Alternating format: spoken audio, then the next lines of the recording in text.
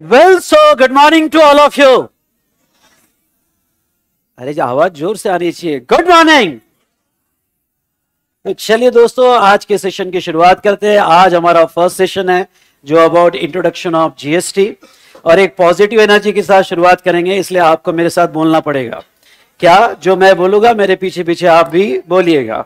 तो एक लंबी सांस लीजिए और कहिए जो भी हुआ अच्छा हुआ। और जो भी होगा बहुत अच्छा होगा। आए हम कुछ अच्छा करने। ओके सो चलिए आज के सेशन की शुरुआत करते हैं इस पॉजिटिव एनर्जी के साथ। आर यू रेडी ये हुई ना बात। ओके सो चलिए।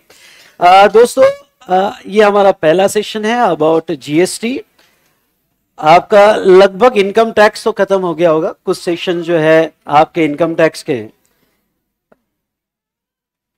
जो भी बचे हुए सेशन है, आपके इनकम टैक्स के, वो आगे उसका शेड्यूल दे दिया जाएगा और कवर हो जाएँगे। ठीक है? तो थोड़ा एक्साइटेड हो जीएसटी से रिलेटेड तो अच्छी बात है आपको कि 20 मार्च में जो है आपको फैकल्टी अलग अलग मिल जाती है डीटी और आईडीटी के लिए, और सिलेबस भी अच्छा खासा टैक्सेशन का है as compare to other subject okay तो चलिए। थोड़ा मेरे बारे में बता दू, मैं सेल्फ सी विशाल भट्टर थोड़ा थोड़ा आप जानते हो अरे हाँ है ना? तो मैं 2004 से पढ़ा रहा हूँ। पहले CA final and then in 2014 CA inter से पढ़ाना चालू किया। तो यहाँ लगभग अब समझ लो 21 ईयर्स हो चुके हैं, जितने आपकी एज होगी। तो आप जैसे जब छोटे थे ना, छोटे, ओके, तब से पढ़ा रहा हूँ। वो भी नहीं है। तब से आईडीटी पढ़ा रहा हूँ और एक ही सब्जेक्ट पढ़ा रहा हूँ आईडीटी इसके अलावा मेरे को भी कुछ नहीं आता।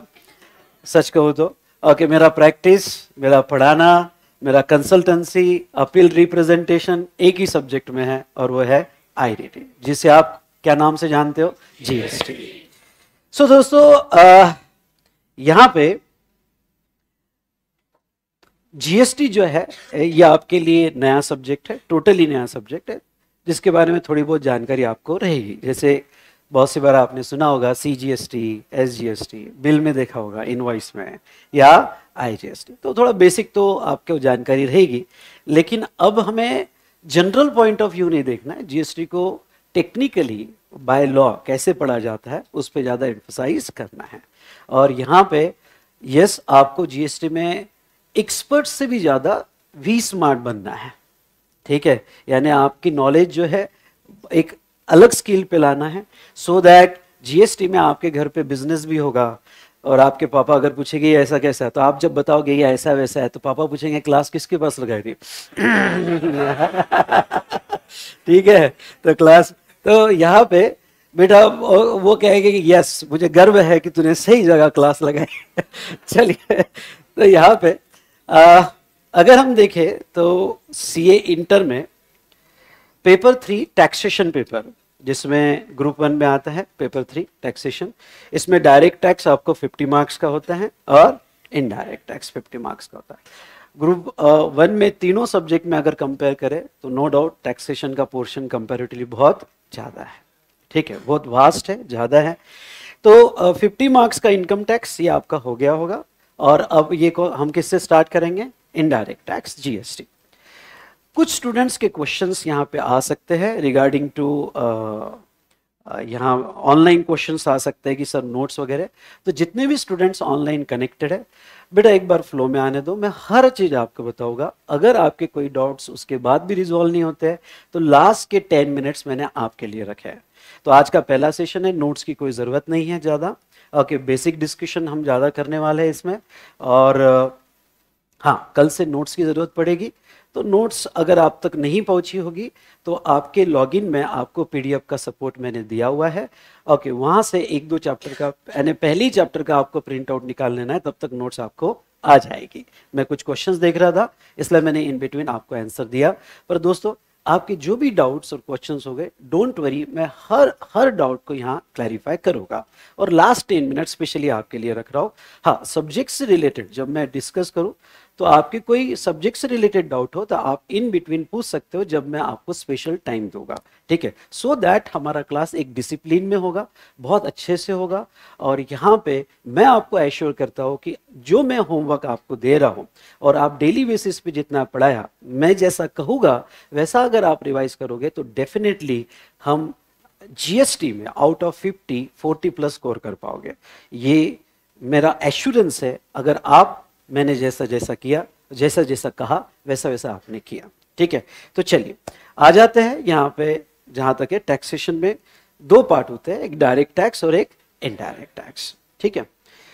इनकम टैक्स जो है 50 मार्क्स का आपका लगभग पोर्शन खत्म हो गया है और इनडायरेक्ट टैक्स जो है, हम देखने वाले हैं जीएसटी अगर मैं आपको थोड़ा सा पेपर स्ट्रक्चर से रिलेटेड बता दूँ तो ये जो पेपर स्ट्रक्चर है, जिसमें टोटल 100 मार्क्स का होता है और 30 मार्क्स के एमसीक्यू होता है, और आपको न्यूमेरिकल और सब्जेक्टिव क्वेश्चंस कितने होते हैं बेटा? 70 मार्क्स तो 30 मार्क्स के एमसीक्यू निकल जाते हैं।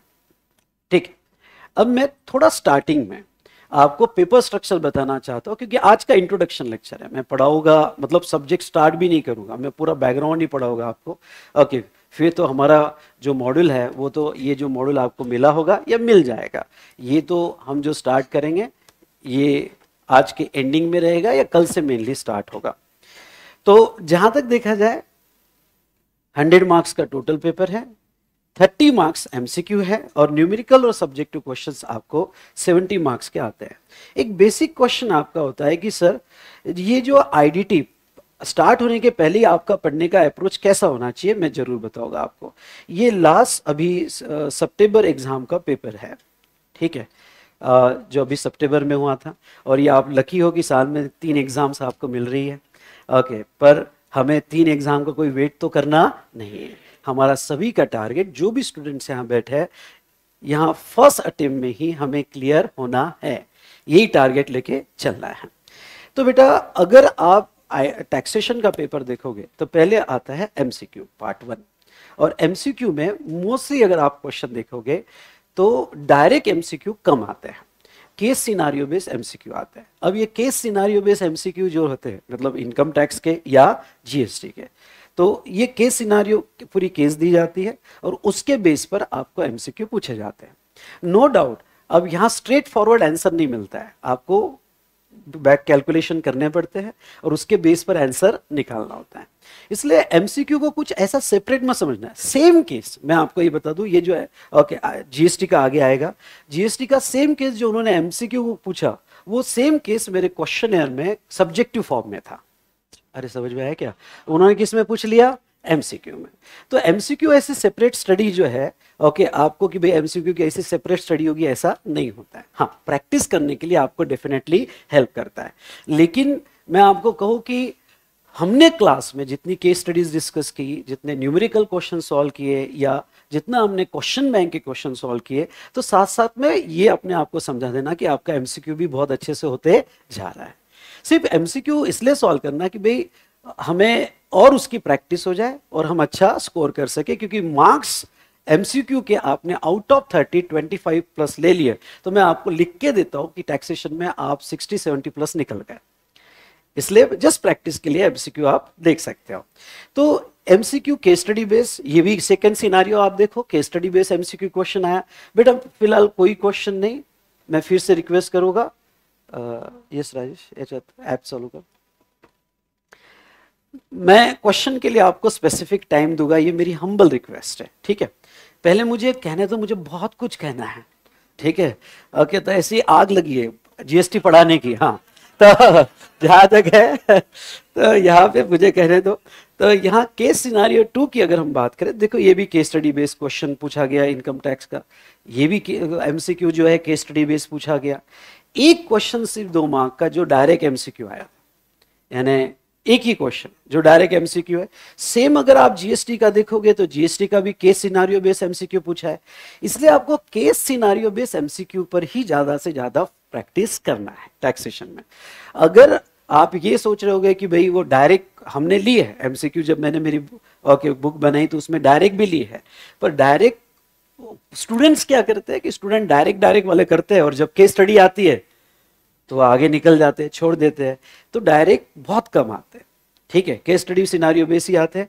दूसरी अगर हम बात करें बेटा यहाँ पे तो यस जब आप क्वेश्चन पेपर सॉल्व करते हो तो क्वेश्चन पेपर में कुछ जनरल इंस्ट्रक्शन आपको ध्यान रखना है।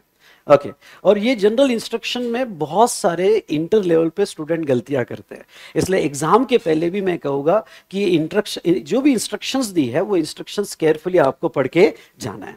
आपको कैसा होता है मैं बताता हूँ। Question paper comprise two part part one और पार्ट टू पार्ट वन आपका क्या होता है बेटा? एमसीक्यू ठीक है, मैं डायरेक्ट पेपर स्ट्रक्चर इसलिए रहा हूँ क्योंकि जस्ट आपने क्या कंप्लीट किया अभी? डीटी तो आईडीटी स्टार्ट होने के पहले आपको एक अप्रोच मिल जाए। ओके सो दैट उसके बाद में हम आपको डीटी का भी मिल जाएगा और आईडीटी का भी मिल जाएगा ठीक है तो यहाँ part one as well as part okay part one होता है आपका एमसीक्यू और पार्ट टू होता है जो डिस्क्रिप्टिव क्वेश्चन होते हैं। ठीक है?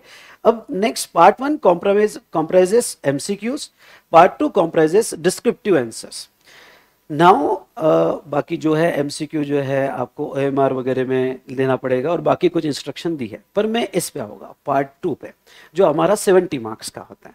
ठीक है? ये जो है, जिसमें दो सेक्शन होते हैं section A for income tax और सेक्शन बी फॉर जीएसटी इसके दोनों की आंसर शीट्स अलग आती है। तो यहाँ पे केयरफुली जब भी आप आंसर पेपर लिखो तो ए के आंसर अलग लिखना इनकम टैक्स की, क्योंकि इसके आंसर शीट अलग होती है, और बी के आंसर शीट लेकिन छोटी छोटी मिस्टेक्स यहाँ पे बच्चों से ये हो जाती है कि जब सप्लीमेंट्स लेते हैं तो सप्लीमेंट्स कभी कभी कभी सप्लीमेंट्स इनकम टैक्स की किसके साथ लग जाती है? जीएसटी के साथ। जीएसटी की किसके साथ लग जाती है? इनकम और बहुत बड़ी मिस्टेक कर देते हैं। इसलिए ये केयरफुली ध्यान देना। यहाँ पे, अब अगर आप पार्ट ए देखते हो तो यहाँ पे टोटल फोर क्वेश्चन है।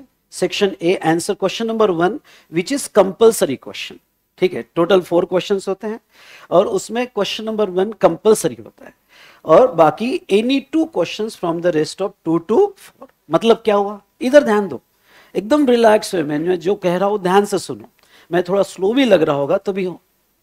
देखो बेटा ओके कहा स्पीड बनाना ये अपने को समझ में आना चाहिए और वो मुझे समझ में आता है ठीक है? तो जहाँ तक देखा जाए तो यहाँ पे मैं मेरे पे पूरा हंड्रेड परसेंट ट्रस्ट करो कहाँ स्लो करना है कहाँ स्पीड बढ़ाना है कहाँ आपको आ, कुछ कॉन्सेप्ट क्रिटिकल कॉन्सेप्ट होते हैं तो वहाँ पे किस तरह से पढ़ाना चाहिए? Leo. Okay I will handle that ठीक है? तो आपको एक क्वेश्चन जो है वो एक क्वेश्चन ऑप्शन में मिल जाता है। यहाँ पे all question in section A relate to assessment year 24 25 तो आपको जो भी क्वेश्चंस पूछे जाते हैं करंट असेसमेंट ईयर के प्रोविजंस पे पूछे जाते हैं। इसलिए पुरानी कोई प्रोविज़न होगी या पुराना आपने पढ़ा होगा जनरली क्या होता है, मैं जैसे आपको आंसर देता हूँ कि नो no डाउट आप सभी फ़र्स्ट अटेम्प्ट के लिए ट्राई करोगे और फ़र्स्ट अटेम्प्ट में ही क्लियर होगे। लेकिन अगर अटेम्प्ट लग जाते हैं तो आपने फाइनेंशियल ईयर दूसरा पढ़ा फिर अमेंडमेंट्स आती है। तो अमेंडमेंट्स पे ट्रैक रखना बहुत ज़रूरी हो जाता है, क्योंकि आपके आंसर्स जो रिसेंट करंट फाइनेंशियल असेसमेंट है, उसके बेस पर ही चेक किए जाते हैं। ठीक है? नाउ सेकेंड हम बात करें सेक्शन बी सेक्शन बी जो है, वो होता है किसका? जीएसटी का। उसमें क्वेश्चन नंबर फाइव से लेके एट तक होता है, जिसमें क्वेश्चन नंबर फाइव जो होता है, ये question number five compulsory question होता है। यानी एक इनकम टैक्स में कंपल्सरी होता है और एक क्या? जीएसटी में कंपलसरी होता है। ओके जीएसटी में कंपलसरी होता है। उसके बाद में बहुत इंपॉर्टेंट जो टैक्सेशन में आपको ध्यान रखना है वो ये। Working note should be a form of should should be form part of your answer मतलब ये, और जीएसटी में तो बहुत इंपॉर्टेंट रोल प्ले करता है कि आपकी नोट्स कैसे लिखी गई। आप प्रेजेंट कैसा कर रहे हो। आपका प्रॉपर वे में आंसर्स कैसे लिखा गया? और उसकी प्रैक्टिस मैं आपसे करवाऊँगा मोर देन 200 क्वेश्चंस हम क्लास में राइटिंग प्रैक्टिस में लेंगे। समझ में आया क्या? और कुछ होमवर्क भी दूँगा। अगर आप मेरे और होमवर्क दोनों मिला लेते हो तो हम अराउंड 400 प्लस क्वेश्चन सॉल्व करने वाले हैं इन क्लास तो be ready for that okay मैं चाहता हूँ कि मेरे क्लास का हर स्टूडेंट यहाँ पे टारगेट करे 40 प्लस इस बार 40 पार। ठीक है? तो यहाँ पे टैक्सेशन में 80 पर और जीएसटी में 40 पर। तो यहाँ पे नेक्स्ट आपको एक बात बता दूँ कि B should be answer on the basis of GST finance act जो डिलीवर्ड फाइनेंस एक्ट आपके एग्ज़ाम को अप्लीकेबल है, वो। अब एक सवाल आता है आपका।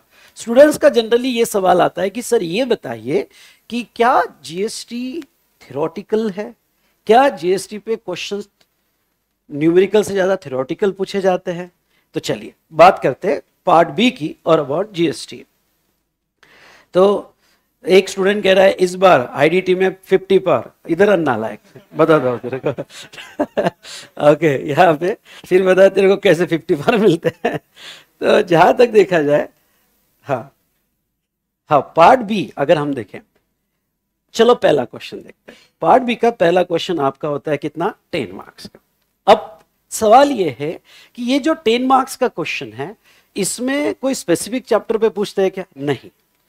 टोटल फाइव सिक्स चैप्टर्स के कॉन्सेप्ट को मिला के ये क्वेश्चन बनाया जाता है। और ये कंपलसरी क्वेश्चन होता है, लगता है थोड़ा डिफ़िकल्ट लेकिन कंपलसरी क्वेश्चन होता है। ठीक है? तो अगर, अभी तो आपको कोई नॉलेज नहीं है जीएसटी का, लेकिन मैं बाद में जब हमारा कॉन्सेप्ट हो जाएगा तो ऐसे टेन मार्क्स के क्वेश्चन लूँगा तो आपको समझेगा कि क्या स्किल लेवल है भाई साहब। ओके इसने पाँच छह चैप्टर्स के कॉन्सेप्ट को एक साथ मर्ज करके पूछा है। ओके टेन मार्क्स का। ये है तो न्यूमेरिकल नहीं देखो आउट ऑफ़ फिफ्टी दस okay out of fifty fifteen marks MCQ के निकल गए। अरे, ये नो तो 15 15 मार्क्स एमसी कितना बचा? 35 35 में से 10 मार्क्स न्यूमेरिकल क्वेश्चन आता है। अरे, ये सो नो बचे कितने? 25 तो ये 10 मार्क्स का कंप्लीटली न्यूमेरिकल क्वेश्चन जिसमें जीएसटी वगैरह ओपनिंग बैलेंस आपको कैलकुलेशन जीएसटी का करना है। ओके okay, और सारी पर्टिकुलर्स को कंसीडर करके आपको आंसर सॉर्ट करना है। लेकिन इस क्वेश्चन में आपके नोट्स या आपके रिमार्क्स के लिए सुनिएगा आपके नोट्स या आपके रिमार्क्स के लिए डेफिनेटली ओके यहाँ मार्क्स रखे जाते हैं क्योंकि वर्किंग नोट्स आपकी बहुत इंपॉर्टेंट होती है। दूसरा दूसरा अगर ये क्वेश्चन देखते हैं क्वेश्चन नंबर सिक्स अब देखो पहला तो कंपलसरी था इसके बाद में एक क्वेश्चन क्या मिल जाता है? ऑप्शन आउट ऑफ़ थ्री आप कोई भी दो क्वेश्चन यहाँ पे सॉल्व कर सकते इसके बाद का सिलेक्शन आपका बहुत इंपॉर्टेंट रोल प्ले करता है। ओके okay, क्योंकि मैंने यहाँ पे स्टूडेंट्स का ये देखा है कि सिलेक्ट कर लेते ए आता है फिर बी नहीं आता है। अरे यार बी नहीं आ रहा है सी अच्छे से नहीं आ रहा है। फिर इसका टाइम चले गया। अरे है ना? फिर दूसरे ऑप्शन का क्वेश्चन ले लेते हैं। ये टाइम मैनेजमेंट आपके लिए बहुत इंपॉर्टेंट है।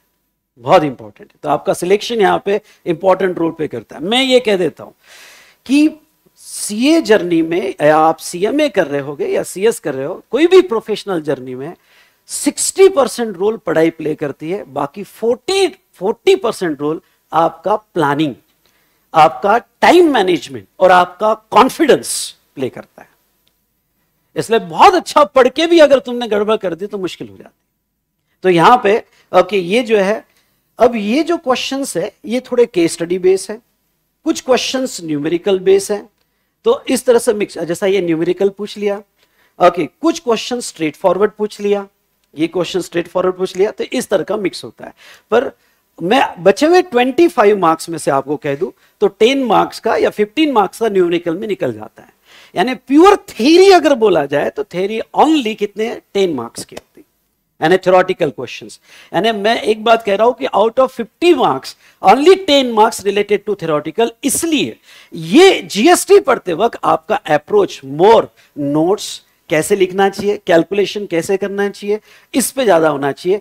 Theoretical question out of ten marks मैं ये कहूँगा कि अगर आपने फाइव सिक्स भी ले लिए तो मोर देन इनफ तो ये इसको थेरोटिकल समझ के डरना मत। अरे ये सर नो इसको हम प्रैक्टिकली ही बहुत अच्छे से कवर कर लेंगे। देन ओके तो ये मैंने पेपर स्ट्रक्चर आपको बताया। चलो, आ जाते हैं अब थोड़ा यहाँ पे रिगार्डिंग टू सिलेबस ओके किस तरह से हम कवर करेंगे? आपको एक नोटबुक दी है, जिसको मिली है, ठीक है, जो यहाँ पे। ओके ऑनलाइन नहीं बेटा, मैं फेस टू फेस की बात कर रहा हूँ। तो एक नोटबुक लीजिएगा और अब आपको क्या करना है? नोट्स, नोटबुक आपको दो मेंटेन करनी है। एक हंड्रेड पेजेस की, बता देता हूँ हंड्रेड पेजेस नहीं तो आप पूछेंगे, सर नोटबुक कितने पेजेस की होगी? ये बता दो। ओके अच्छा हुआ मैं इंटर और फाइनल को ही पढ़ाता हूँ फाउंडेशन को नहीं। हाँ। तो यहाँ पे जहाँ तक देखा जाता है तो यहाँ एक आंसर राइटिंग के लिए क्वेश्चंस का प्रैक्टिस करेंगे तो उसका 200 पेजेस का ले लो। ज़्यादा लगा तो अपने बाद में ले लेना। और 100 पेजेस का आपका चार्ट के लिए होगा। रजिस्टर लेना है और मेरे साथ चार्ट्स भी आपको ड्रॉ करना है। ठीक है? तो चलिए, अभी मैं आपको ये बता दूँ, बेटा आपके क्वेश्चन लेता हूँ।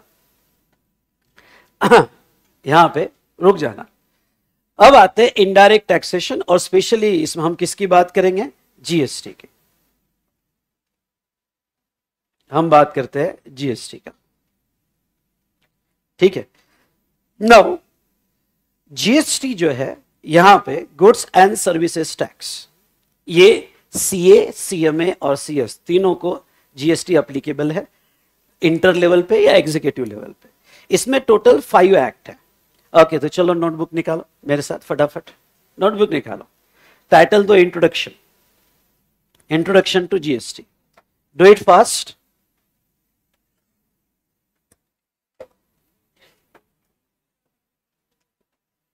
title दो इंट्रोडक्शन टू जीएसटी दिया आप सभी ने?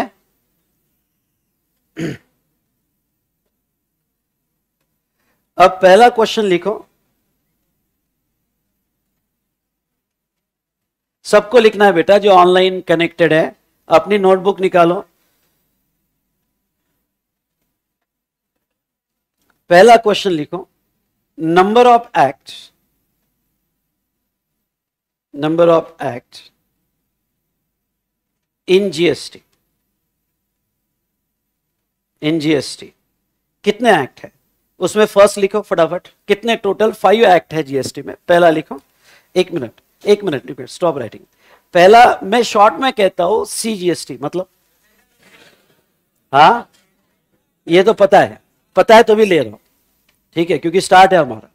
तो पहला है central goods and services tax जिसको शॉर्ट में कहते हैं सी जीएसटी तो लिखो पहला, यहाँ पे। पहला लिखो। Central central goods and services I repeat okay service नहीं, क्या वर्ड आना चाहिए? Services act 2017. भाई साहब, ये 2017 क्यों आया? जीएसटी जो है 2017 में इंप्लीमेंट हुआ। ठीक है? अब मैं आपको बताता हूँ कि यहाँ पे जीएसटी आने के पहले अलग अलग इनडायरेक्ट टैक्स थे, कभी आपने सुने होंगे। एक था एक्साइज जो आज भी कुछ गुड्स के लिए है।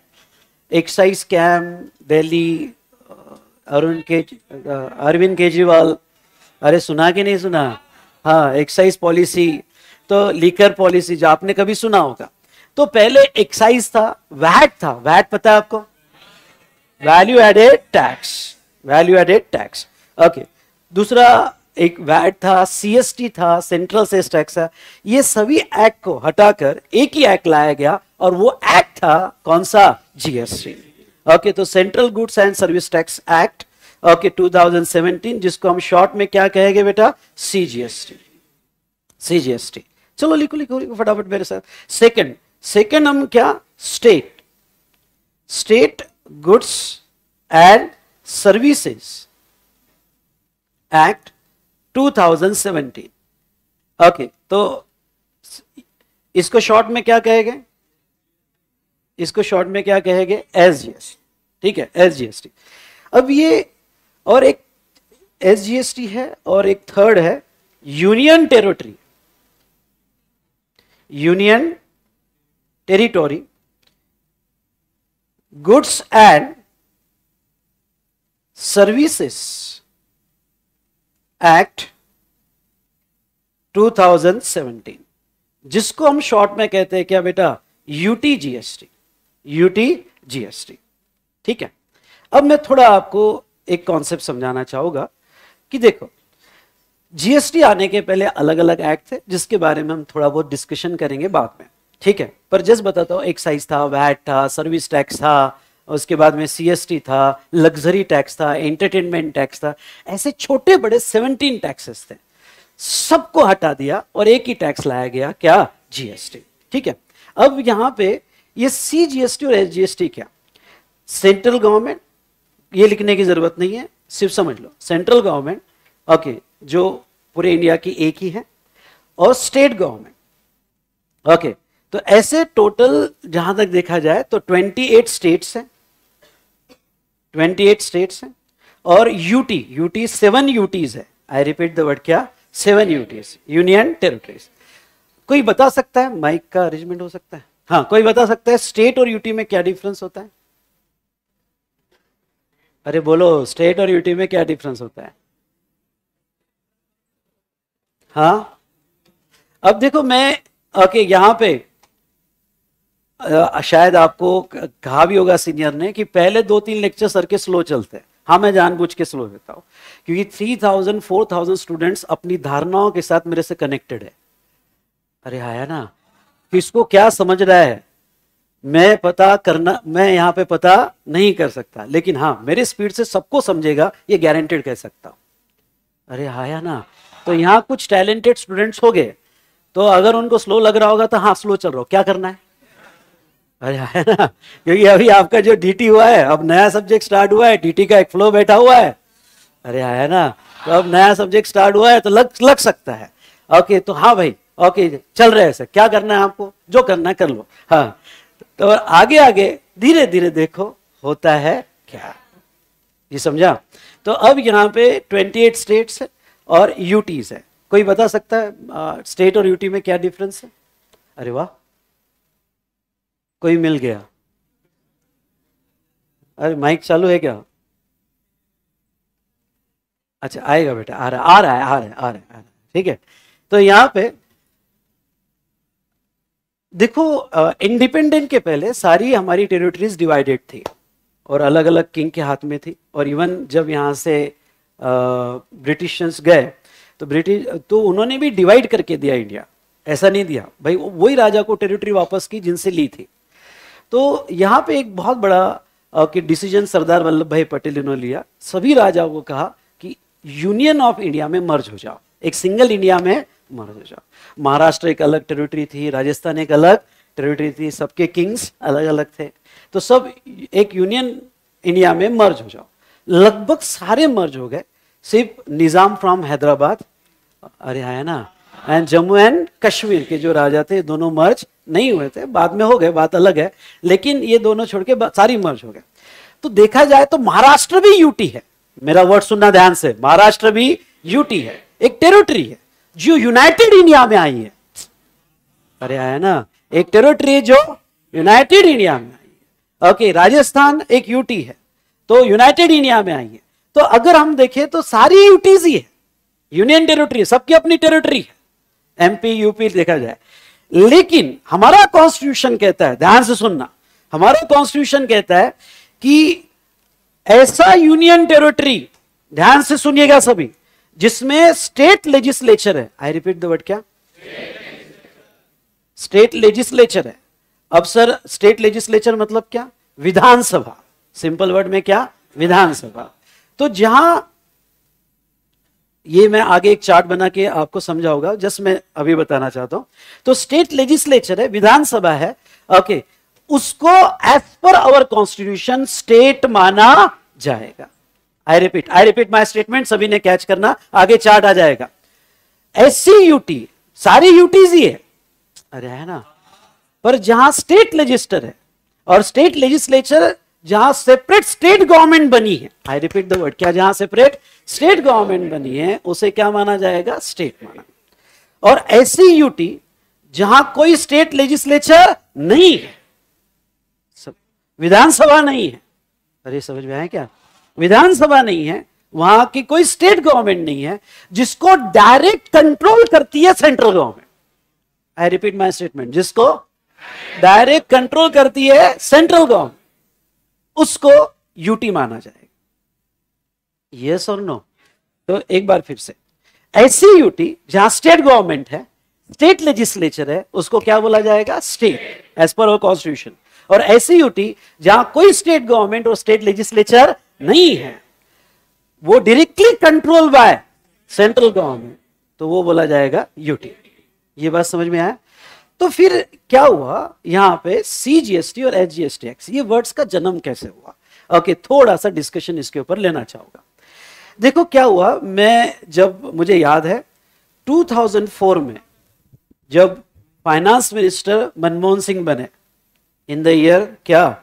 2004 फाइनेंस मिनिस्टर मनमोहन सिंह बने और sorry prime minister Manmohan Singh बने और फाइनेंस मिनिस्टर पी चिदम्बरम तो हमारे फाइनेंस मिनिस्टर जो है, जो पी चिदम्बरम थे, उन्होंने एक अनाउंसमेंट किया 2004 में कि हम इंडिया में अब जीएसटी लाने वाले हैं। जब ये अनाउंसमेंट हुई, उसके पहले 51 कंट्रीज़ में जीएसटी आ चुका था। यस है 51 कंट्रीज़ में जीएसटी आ चुका और इंडिया के लिए जीएसटी लाना अब ज़रूरी था। उसके रीजंस आगे आएँगे। ये इंट्रोडक्शन चैप्टर में मैं, ये आपको बहुत अच्छे से पढ़ा होगा कि जीएसटी लाने की ज़रूरत ही क्या पड़ी। ऐसा क्या हो गया कि जीएसटी लाया गया?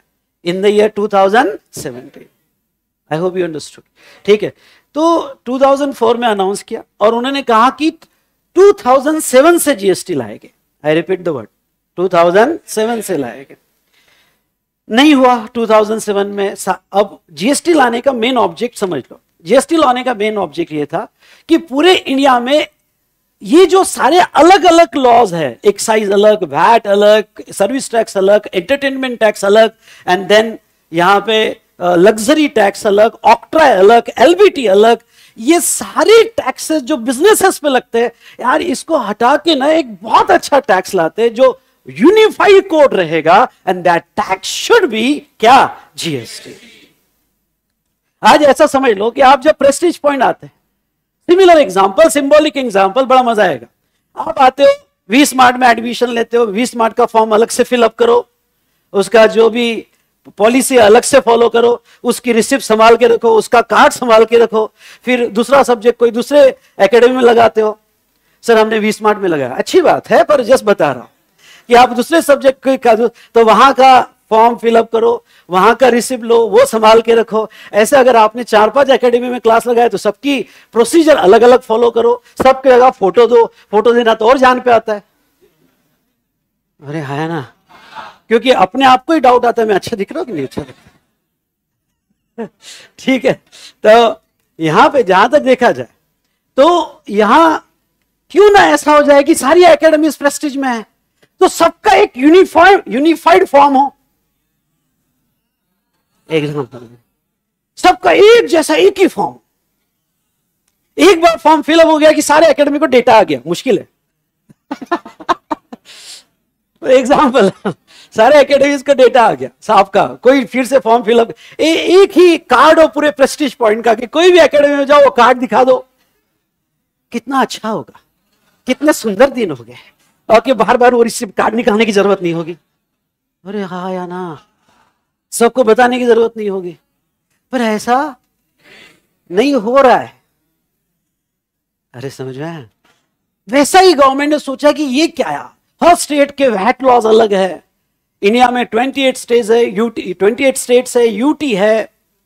और सबके वैट अलग अलग लॉ चल Rajasthan VAT law different Maharashtra VAT law different Delhi VAT law different भाई साहब, दुनिया बदल रही है। इंटरनेट के जमाने में हम अब सिर्फ़ लोकल नहीं बचे। हम इंटरनेशनल से इंटरनेशनल हो गए। अरे ना अब बिज़नेस बड़ा हो गया है।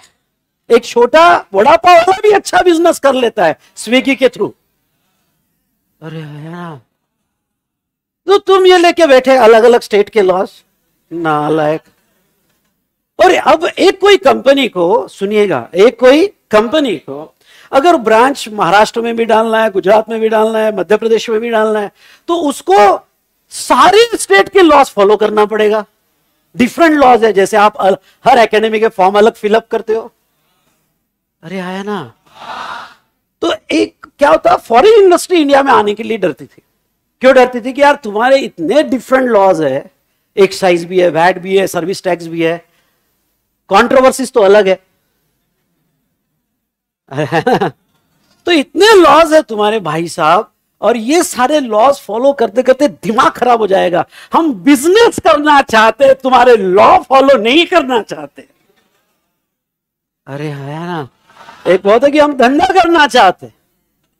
अरे है ना बैठे तुम्हारे लॉ ये फॉर्म फिलअप करो, वो रिटर्न फिलअप करो हम का ढम का। अरे समझा है नहीं समझ? तो ऐसे केस में ये ज़रूरत आ गई थी कि इंडिया में फॉरेन इंडस्ट्री को अट्रैक्ट करना है इंडियन इंडस्ट्री को बढ़ावा देना है, इंडिया में इंडस्ट्रियलाइजेशन करना है तो यूनिफाइड लॉ लाना ज़रूरी ज़रूरी है। तो सारे स्टेट्स को, सारे स्टेट के लॉस को और सेंट्रल लॉस को एक कोड में लाना ज़रूरी है। अब भाई, इतना इजी नहीं था सारे स्टेट्स को समझाना, क्योंकि सारे स्टेट में बीजेपी थोड़ी है। भाई, दिल्ली के सीएम जो थे, वो तो जेल में रख के भी छोड़ा नहीं। अरे, है ना? तो सारे स्टेट में एक ही थोड़ी है।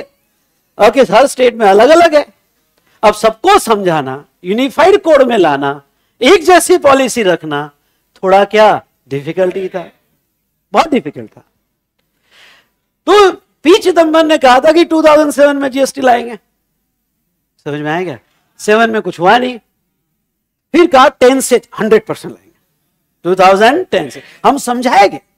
और बेटा यही होगा, ये क्लास में ओके मैं, हम यहाँ पे सारे स्टेट मतलब आप और मैं सेंट्रल मिल के जीएसटी की पॉलिसी बनाएँगे। अरे है ना? तो सारे स्टेट को एक साथ लाना सेंट्रल एक साथ होना यूनिफाइड कोड में लॉ लाना, बहुत बड़ा टास्क था। 2010 में भी नहीं हुआ। फिर बाद में तो समझा ही नहीं यूपीए गवर्नमेंट को क्या हो रहा है? अरे है ना। और फिर 2014 में आए मोदी जी। ठीक है। नहीं, मैं मैं कुछ पॉलिसी से बहुत एग्री हूँ मोदी जी की, कुछ पॉलिसी बिल्कुल नहीं जमती मेरे ओके पर अच्छे के साथ बुरा होता ही है। अरे है ना। तो जहाँ तक देखा जाए तो 2014 में मोदी जी है, उन्होंने एग्रेसिव स्टेप लिया जीएसटी का। हाँ ये एग्रेसिव स्टेप के कुछ बुरे परिणाम भी हुए जीएसटी में, जो बाद में पड़ा होगा, लेकिन ठीक है लॉ इंप्लीमेंटेशन में आ गया, कुछ फ़ायदे भी हुए। ठीक है तो उन्होंने कहा कि नहीं जीएसटी तो लाना है। और जीएसटी लाने की सारी प्रोसीजर जो हम ये चैप्टर वन में देखेंगे, उन्होंने शुरू कर दी थी। और एट लास्ट फ़र्स्ट जुलाई 2017 को जीएसटी लाया गया लाया गया अब इसमें आने वाले प्रॉब्लम्स क्या थे? सुनिएगा। आने वाले प्रॉब्लम्स क्या थे? इसमें आने वाले प्रॉब्लम ये थे कि सारे स्टेट और सेंट्रल मिलके एक ही टैक्स लगाने वाले थे। कौन सा? जीएसटी मुझे याद है 2004 का, क्योंकि तब मैं फाइनल में था पी चिदम्बरम ने जो प्रपोजल दिया था, ये नेशनल जीएसटी का दिया था। आई रिपीट द वर्ड क्या? नेशनल जीएसटी का प्रपोजल दिया था। कि भाई एक ही जीएसटी लगाया जाए कलेक्शन पूरा सेंट्रल करेगी। अरे है ना कलेक्शन पूरा सेंट्रल करेंगी और बाद में स्टेट में बांटेगी। और एक ही जीएसटी सारे स्टेट वाले जब रेडी हुए तो उन्होंने कहा, नहीं नहीं जीएसटी ड्यूअल मॉडल में आएगा। आई रिपीट द वर्ड क्या? ड्यूअल मॉडल में आएगा। तू तेरा, मैं मेरा। है ना क्या टीटीएम इसलिए जो भी जीएसटी कलेक्शन होगा, वो दो पार्ट में डिवाइड होगा। और जन्म हुआ C GST and S GST समझ में आया क्या? इसको ड्यूअल मॉडल बोलते हैं। यानी समझ लो जीएसटी अगर 12 परसेंट है आई रिपीट जीएसटी क्या? 12 परसेंट ये फिक्स फाइनल रेट है। वैसे आपको पता, कोई बता सकता है माइक लेना प्लीज़ माइक है क्या? कि नहीं है? है ना? ओके जीएसटी के कौन कौन से रेट देखे आपने? चलो बताओ ऑनलाइन बच्चों बताओ। जीएसटी के कौन कौन से रेट देखे आपने? हाँ? एक फाइव परसेंट देखा होगा। अरे है ना। एक ट्वेल्व देखा होगा।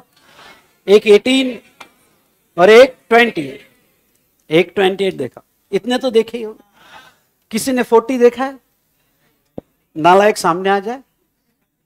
ट्वेंटी एटी अभी हाइएस्ट रेट वेरी गुड क्या बात है ऑनलाइन बच्चे बड़े टैलेंटेड दिख रहे हैं। फेस टू फेस भी है। हाँ। ओके जवाब दे रहे तो five twelve eighty nine twenty ये जीएसटी का फुल रेट है। आई रिपीट ये जीएसटी का फुल रेट तो जब जीएसटी ये रेट से लगेगा तो ये जीएसटी फिफ्टी फिफ्टी परसेंट में डिवाइड होगा। कितना? फिफ्टी फिफ्टी परसेंट में। मतलब फाइव परसेंट जो लगाया गया, इसमें टू पॉइंट फाइव परसेंट किसका? सी जीएसटी और two point five percent state वालों ने कहा, ऐसा नहीं ऐसा नहीं कि पूरा सेंट्रल ले लेंगे, बाद में हमको देगा, बाद में नहीं मिला तो। अरे है ना। बाद में नहीं मिला तो? नहीं, अभी के अभीच टीटीएमएम टीटीएमएम मतलब? फिफ्टी तेरा फिफ्टी मेरा। अरे है ना, फिफ्टी तेरा फिफ्टी मेरा बोल ओके बैठते हो गए तो हम ये साथ में मर्च करते नहीं तो जाओ। यही समझ में आया क्या? तो फिर दो एक्ट आए पिक्चर में क्या? सी जी एस टी और एस जी एस टी फिर सवाल ही आया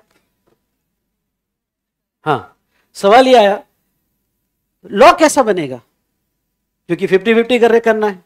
तो लॉ की जो पॉलिसीज़ होगी, वो पॉलिसीज़ कैसे रहेगी? तो फिर इसके लिए एक काउंसिल बनाया गया, परिषद। आई रिपीट द वर्ड क्या? काउंसिल जिसका नाम था जीएसटी काउंसिल आगे सब आएगा, जिसमें रेफरेंस के लिए अभी ले रहा हूँ। जीएसटी काउंसिल बनाया गया, जिसमें स्टेट के मेंबर्स और सेंट्रल ये मिलकर साथ में मिलकर, यानी जस्ट इमेजिन करना, जो online student face to face है, कि आप अपने आप को स्टेट के रिप्रेजेंटेटिव मानना। अरे है ना। और सेंटर से फाइनेंस मिनिस्टर मैं रिप्रेजेंटेटिव होगा। और दोनों मिलके पॉलिसीज़ फिक्स करेंगे, और दोनों मिलके जो पॉलिसी फिक्स होगी, वो लॉ में कन्वर्ट होगी। ये होगी दोनों मिलकर जो पॉलिसी फिक्स होगी, वो लॉ में कन्वर्ट एक्ट तो अलग अलग ही रहेंगे। सेंट्रल और स्टेट का स्टेट वाइज महाराष्ट्र जीएसटी अलग, पास अलग होगा। पर दोनों की policies word to word same है। समझ में आया क्या? वर्ड टू वर्ड यानी अगर आप section nine of CGST act देख रहे हो सुनना सुनना, ध्यान से सुनना, सब भूल जाओ। लंबी सांस लो। छोड़ो छोड़ो ना। लगे नहीं? और सब भूल जाओ। ओके यहाँ पे जितने भी टेंशन है, सच कहूँ तो आपके साथ बहुत अच्छा होगा। ओके बहुत सारे तुम्हारे दिमाग में हो गए उसने खाना खाया होगा क्या? खाना खाया क्या सोना हाँ तो तो सब भूल जाओ। इधर ध्यान दो। ठीक है? तो यहाँ पे प्रिंसिपल एक जैसे हो गए। यानी अगर आप सच में देखना चाहते हो तो section nine of C GST act और section nine of S GST act word to word same ऐसे सारे सेक्शन सेम है। सिर्फ़ इतना था कि हमारा कॉन्स्टिट्यूशन और स्टेट रेडी नहीं थे एक लॉ बनाने के लिए। अरे है ना? तो उन्होंने ड्यूअल मॉडल में लॉ बनाया, पर वर्ड टू वर्ड से समझ? इसलिए हमें सिलेबस में जो पढ़ना है, वो सिर्फ़ सीजीएसटी ही पढ़ना है। हमें सिलेबस में सिर्फ़ क्या? सीजीएसटी पढ़ना क्योंकि आपने सीजीएसटी पढ़ लिया मतलब ही। एच और यूजीएसटी पढ़ लिया, उसको सेपरेट पढ़ने की कोई ज़रूरत नहीं है। आई होप यू अंडरस्टूड अब देखो, यहाँ पे जो डिसाइड हुआ सीजीएसटी और एसजीएसटी अब दो टाइप के सप्लाई होते हैं। चलो, बताओ कौन से टाइप के किसी को पता है? सप्लाई सप्लाई सेल नहीं, मैं बताता हूँ। एक होता है इंट्रा एक होता है intra state okay okay intra state और दूसरा क्या होता है बेटा? इंटरस्टेट दूसरा होता है इंटरस्टेट ठीक है? अच्छा इंट्रास्टेट कब बोला जाता है? विद जो अंदर के अंदर निपट जाता है। अरे, है ना? मतलब स्टेट ऑफ़ महाराष्ट्र ओके और यहाँ पे महाराष्ट्र में। ओके सेलर भी महाराष्ट्र का और बायर भी महाराष्ट्र। ओके बायर भी महाराष्ट्र। तुम नीचे स्टेशनरी शॉप में गए, तुमने यहाँ पे पेन खरीदा।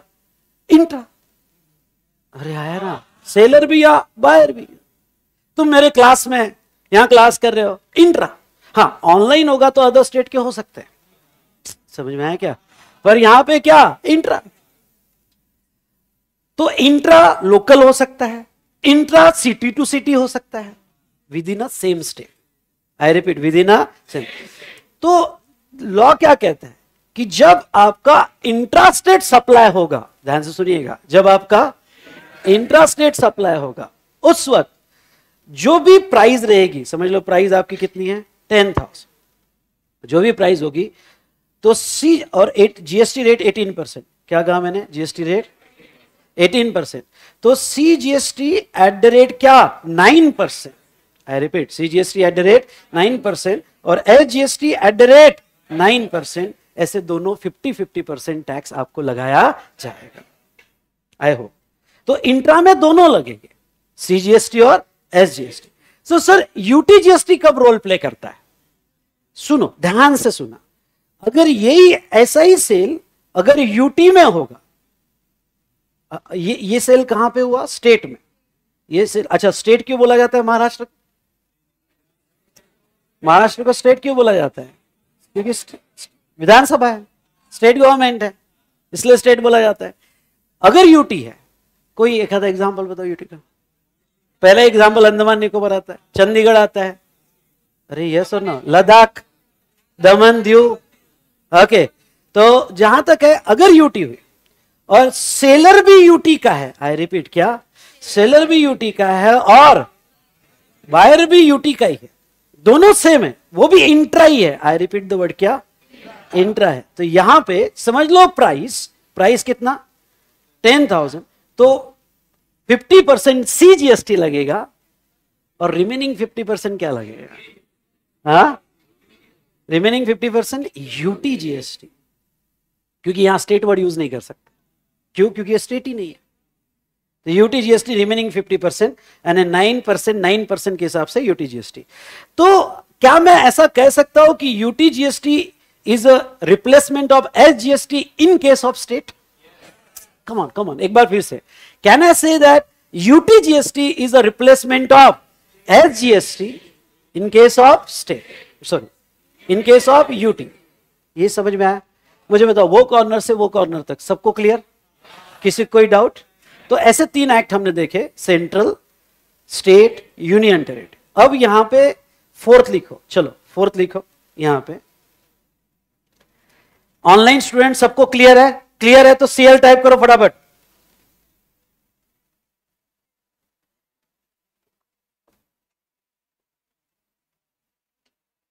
चल, अब लिखो integrated integrated goods and services जिसको हम क्या कहते हैं? एक्ट 2070 जिसको हम कहते हैं क्या बेटा? आईजीएसटी जिसको हम कहते हैं आईजीएसटी ये आईजीएसटी पिक्चर में कब आया? कॉमन सेंस से बता सकते हो। इंट्रा के लिए हमने क्या लिया? हा इंट्रा के लिए क्या लिया? सीजीएसटी और एलजीएसटी तो आईजीएसटी कब आएगा? हाँ इंटरेस्टिंग मतलब आपको बता दूँ, समझ लो स्टेट ऑफ़ महाराष्ट्र और स्टेट ऑफ़ गुजरात ठीक है? महाराष्ट्र गुजरात सेलर महाराष्ट्र का है। आई रिपीट सेलर महाराष्ट्र का है और बायर गुजरात का। और समझ लो, ये जो है, यहाँ पे गुड्स सप्लाई हो रहा है या सर्विस सप्लाई हो रही है। और ये ट्रक में गुड्स जा रहा है। ओके तो ये जो ट्रक जो है, आगे ओके ये गया कहाँ पे? गुजरात। अरे आया ना। तो ये जब गुजरात गया तो ऐसे सिचुएशन में यहाँ टैक्स इनवॉइस बनेगा या इनवॉइस में प्राइस होगी? क्या प्राइस होगी बेटा? टेन थाउज़ेंड टेन थाउज़ेंड अब ये केस में क्या सी जीएसटी और एच जीएसटी लगेगा? नहीं. ये केस में क्या लगेगा? I GST integrated goods and service tax ये स्प्लिट नहीं होता है. आई रिपीट द वर्ड ये स्प्लिट नहीं होता. ये फुल रेट से लगता है. ओके okay, तो जब इंटरस्टेट हो जब क्या? इंटरस्टेट हो तो ये फुल रेट से लगता है. क्या? समझ लो 18 परसेंट तो एट द रेट क्या बेटा? 18 परसेंट, यानी 1800 आपको यहाँ पे टैक्स लग जाएगा। 1800 टैक्स फिर सर इसका स्टेट वालों को कुछ नहीं मिलता है क्या? जस्ट अभी बता रहा हूँ एक्सप्लेन बाद में करूँगा आईटीसी कॉन्सेप्ट होने के बाद, क्योंकि इसका लॉजिक छुपा हुआ है आईटीसी में। लेकिन मैं अभी बता रहा हूँ। इसका कलेक्शन सिर्फ़ लाइन रट्टा मारना अभी लॉजिक बाद में। इसका आईजीएसटी का कलेक्शन सेंट्रल गवर्नमेंट करती है। आई रिपीट आईजीएसटी का कलेक्शन पूरा सेंट्रल ले लेती है। और बाद में सेंट्रल कलेक्ट करने के बाद इसका 50 परसेंट बायर स्टेट को देती है। आई रिपीट इसका 50 परसेंट किसको देती है? बायर सेलर स्टेट नहीं बायर स्टेट को। सर, क्यों? रुक जाओ। ये समझ में आया क्या? रुक जाओ। लॉजिक आईटीसी में छुपा हुआ है और आईटीसी कॉन्सेप्ट के बारे में आपको इतु सा भी नहीं पता। समझा गया? ओके तो यहाँ पे 50 परसेंट। एक बार क्या आईजीएसटी शेयर होता है? हाँ शेयर होता है, पर ऐसा नहीं होता है। ओके पहले टैक्स पूरा लगता है, पूरा कौन कलेक्ट करती है? सेंट्रल कमान पूरा कौन कलेक्ट करती है? सेंट्रल और फिर उसका 50 परसेंट किसको देती है? स्टेट ओके बाय स्टेट को देती है। क्योंकि ये दो स्टेट का मामला है। दो स्टेट में किसको ये टैक्स दिया जाए, ये गवर्नमेंट ट्रांसफ़र करती है। अरे यस और नो इंट्रा में कोई दिक्कत नहीं हमें। क्यों नहीं है इंट्रा में दिक्कत? क्योंकि वो वहाँ पे सेल हुआ है, वहाँ का स्टेट कलेक्ट कर लेगा। पर यहाँ दो स्टेट का मामला है तो दो के केस में यहाँ पे आईजीएसटी लगता है। होने वाली मिस्टेक लोग आईजीएसटी को बिकॉज़ ऑफ़ दिस कंसेप्ट क्योंकि ये इंटरस्टेट पे लगता है तो इंटरस्टेट पे लगता है तो इसको इंटरस्टेट जीएसटी कहते हैं। नहीं it is not a interstate GST it is integrated I repeat the word क्या? इंटीग्रेटेड इंटीग्रेटेड जीएसटी ये समझ में आया क्या? गलती से भी इंटरस्टेट मत करना। सर वाई इंटीग्रेटेड क्योंकि it is integration of C GST plus S GST full rate से लगता है। इसलिए इसको इंटीग्रेटेड इंटरस्टेट सप्लाई तो पिक्चर में आया हमारा तीसरा लॉ और कौन सा तीसरा लॉ पिक्चर में आया? यहाँ पे integrated goods and services tax I hope you understood okay specially कब लगता है? तो ये दोनों, ये लिख दो, ये तीनों किस पे लगते हैं? Intra intra state supply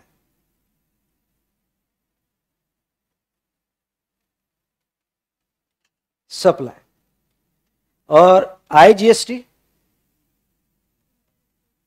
hmm? Interstate supply I IGST interstate supply then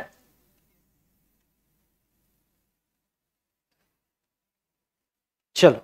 अब एक और एक्ट है, जिसका नाम है यहाँ पे, और वो है GST GST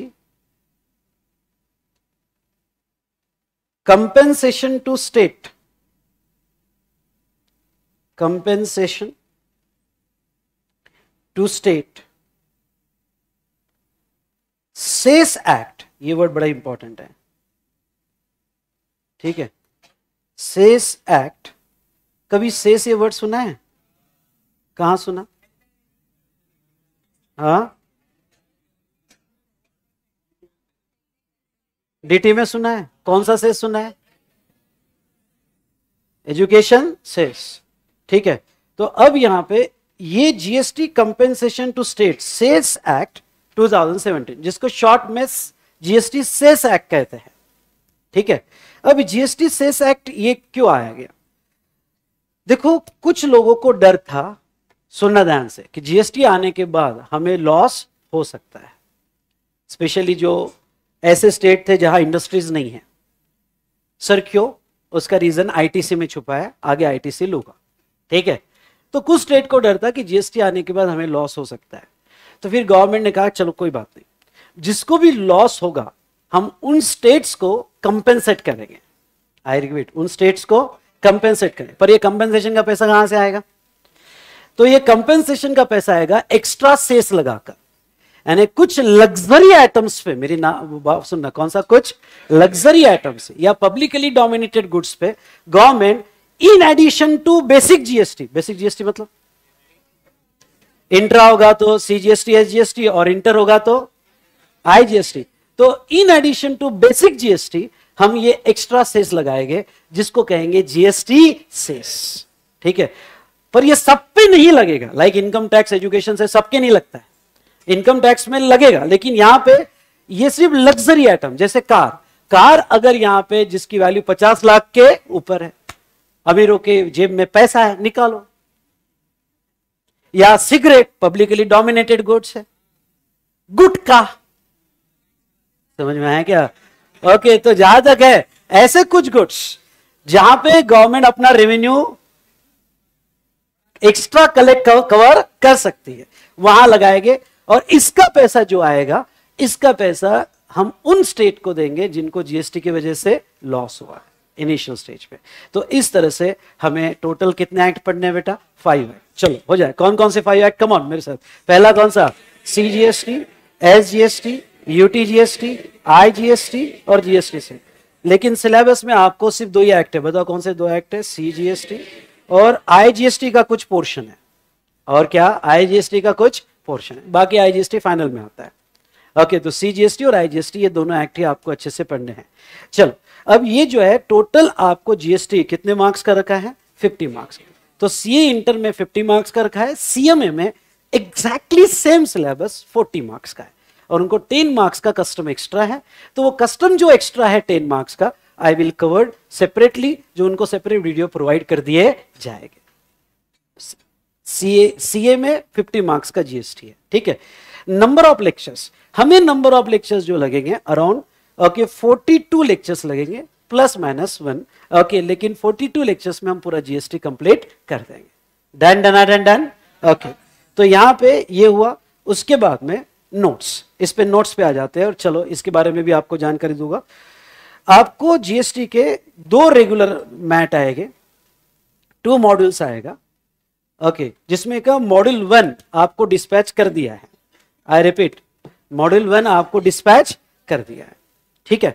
अब मैं आपको बता दूँ, ऐसे रेगुलर मैट टू आएगा। और उसमें अपडेशन चालू है और आने वाले 10-12 दिन में वो भी डिस्पैच हो जाएगा। ठीक है? क्योंकि आपको अमेंडमेंट आगे बताऊँगा।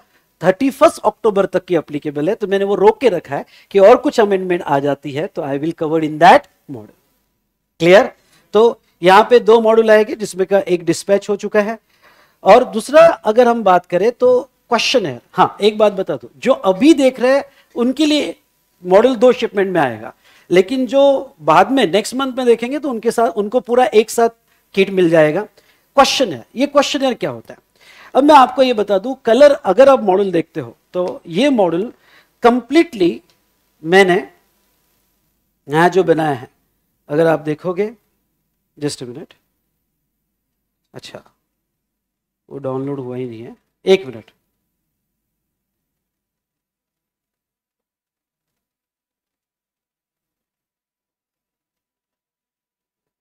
जस्ट मिनट बेटा।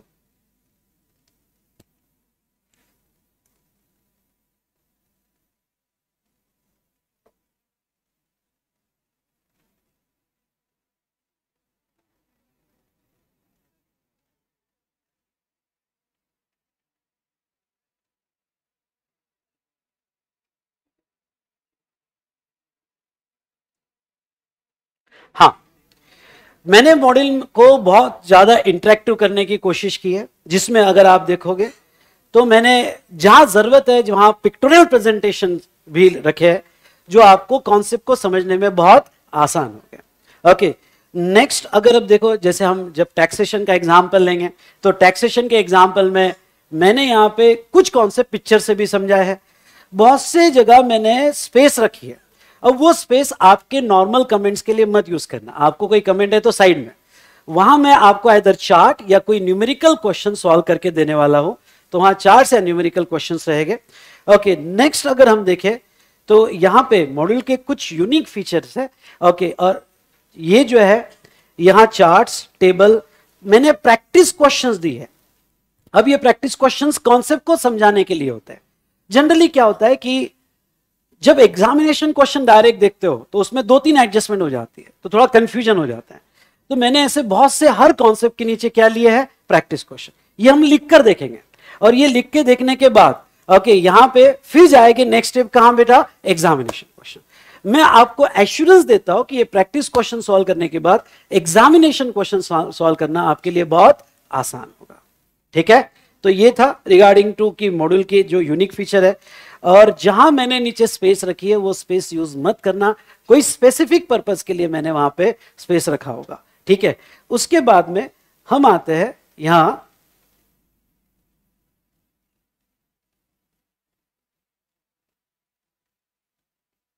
हाँ क्वेश्चन है अब जैसे मैंने मॉड्यूल में प्रैक्टिस क्वेश्चंस तो लिए बेटा, पर प्रैक्टिस क्वेश्चन के बाद भी एक मेरा बुक आता है जीएसटी क्वेश्चन है ठीक है जीएसटी क्वेश्चन ये बुक आता है, जो कंप्लीट क्वेश्चन बैक होती है। 2017 से लेके अभी तक, जितने भी एग्जामिनेशन क्वेश्चंस हैं आरटीपी के क्वेश्चंस हैं मॉक टेस्ट पेपर के क्वेश्चंस हैं प्लस एक्सपेक्टेड क्वेश्चंस जो मैंने बनाए हुए ये सारे क्वेश्चंस इसमें कवर्ड है। हाँ? हाँ तो इसमें ये क्वेश्चन का आपको एक मॉडल मिलेगा। ये क्वेश्चन का आपको एक मॉडल मिलेगा। और इसमें आपके सारे एग्जामिनेशन क्वेश्चंस आएँगे। नहीं बेटा, अब अब क्लियर है? अब क्लियर है? लैग हो रहा था ना? हाँ डन तो एक मॉडल में होगा जिसमें all examination questions examination questions from 2017 RTP भी कवर्ड रहेगा, एमटीबी भी कवर रहेगा, और एक्सपेक्टेड क्वेश्चंस। एक्सपेक्टेड क्वेश्चंस जो एग्ज़ाम में आ सकते हैं। ऐसे 300 प्लस क्वेश्चंस मैंने हमारी क्वेश्चन है यानी क्वेश्चन बैंक में कवर किया है। मैं आपको कहूँगा, इतना कर लो। पिछले, यहाँ पे आठ साल में 2017 से लेके अभी तक, इसके बाहर नहीं आया है। अरे यस और नो बहुत सी बार तो मेरे जो एक्सपेक्टेड क्वेश्चन है, उसमें से आया। अरे समझेंगे नहीं समझे? तो इसके बाहर नहीं है। हाँ यहाँ तक कैसे पहुँचना है, वो मैं तुमको पहुंचाऊँगा। ओके तो ये जो हुआ रिगार्डिंग टू यहाँ क्वेश्चन बैंक अब देखो क्वेश्चन बैंक कुछ क्लास में डिस्कस होगी, कुछ लिख के देखा जाएगा, कुछ होमवर्क आपको दिया जाएगा। इस तरह से कॉम्बिनेशन में होगा। यानी ये 300 क्वेश्चंस और प्रैक्टिस क्वेश्चंस अराउंड मैंने 150 क्वेश्चंस लिए तो ऐसे 450 क्वेश्चंस अगर आप सॉल्व कर ले सॉल्व कर लेते हो मेरे साथ तो किसकी हिम्मत है कि आपको 40 के नीचे लाए? किसी की भी नहीं। आपको 40 प्लस ही मिलेंगे। अरे समझा नहीं समझा? तो जो ऑनलाइन कनेक्टेड है, बताओ। Yes Nikhil Amar Prince Khushi. Okay I hope आप समझ रहे होगे। तो जहाँ तक है, ये रहेगा प्रैक्टिस क्वेश्चन अब क्या हो जाता है? अभी तो हम डिस्कस कर लेते हैं, आप जोश में होते हो। और जोश में भी नहीं, आप क्लास कर रहे हो। हाँ ठीक है ओके हाँ आगे बढ़ो। समझे नहीं समझे, आगे बढ़ो। और अभी तो ठीक है सेकंड क्लास है। आखिरी क्लास में तो ऐसा हो जाता पढ़ा अरे, पढ़ा दो यार। अरे यस तो यहाँ पे मैं आपको कहूँगा कि जनरली ऐसा होता है। क्लास होने के बाद रियल आपको हेल्प लगती है।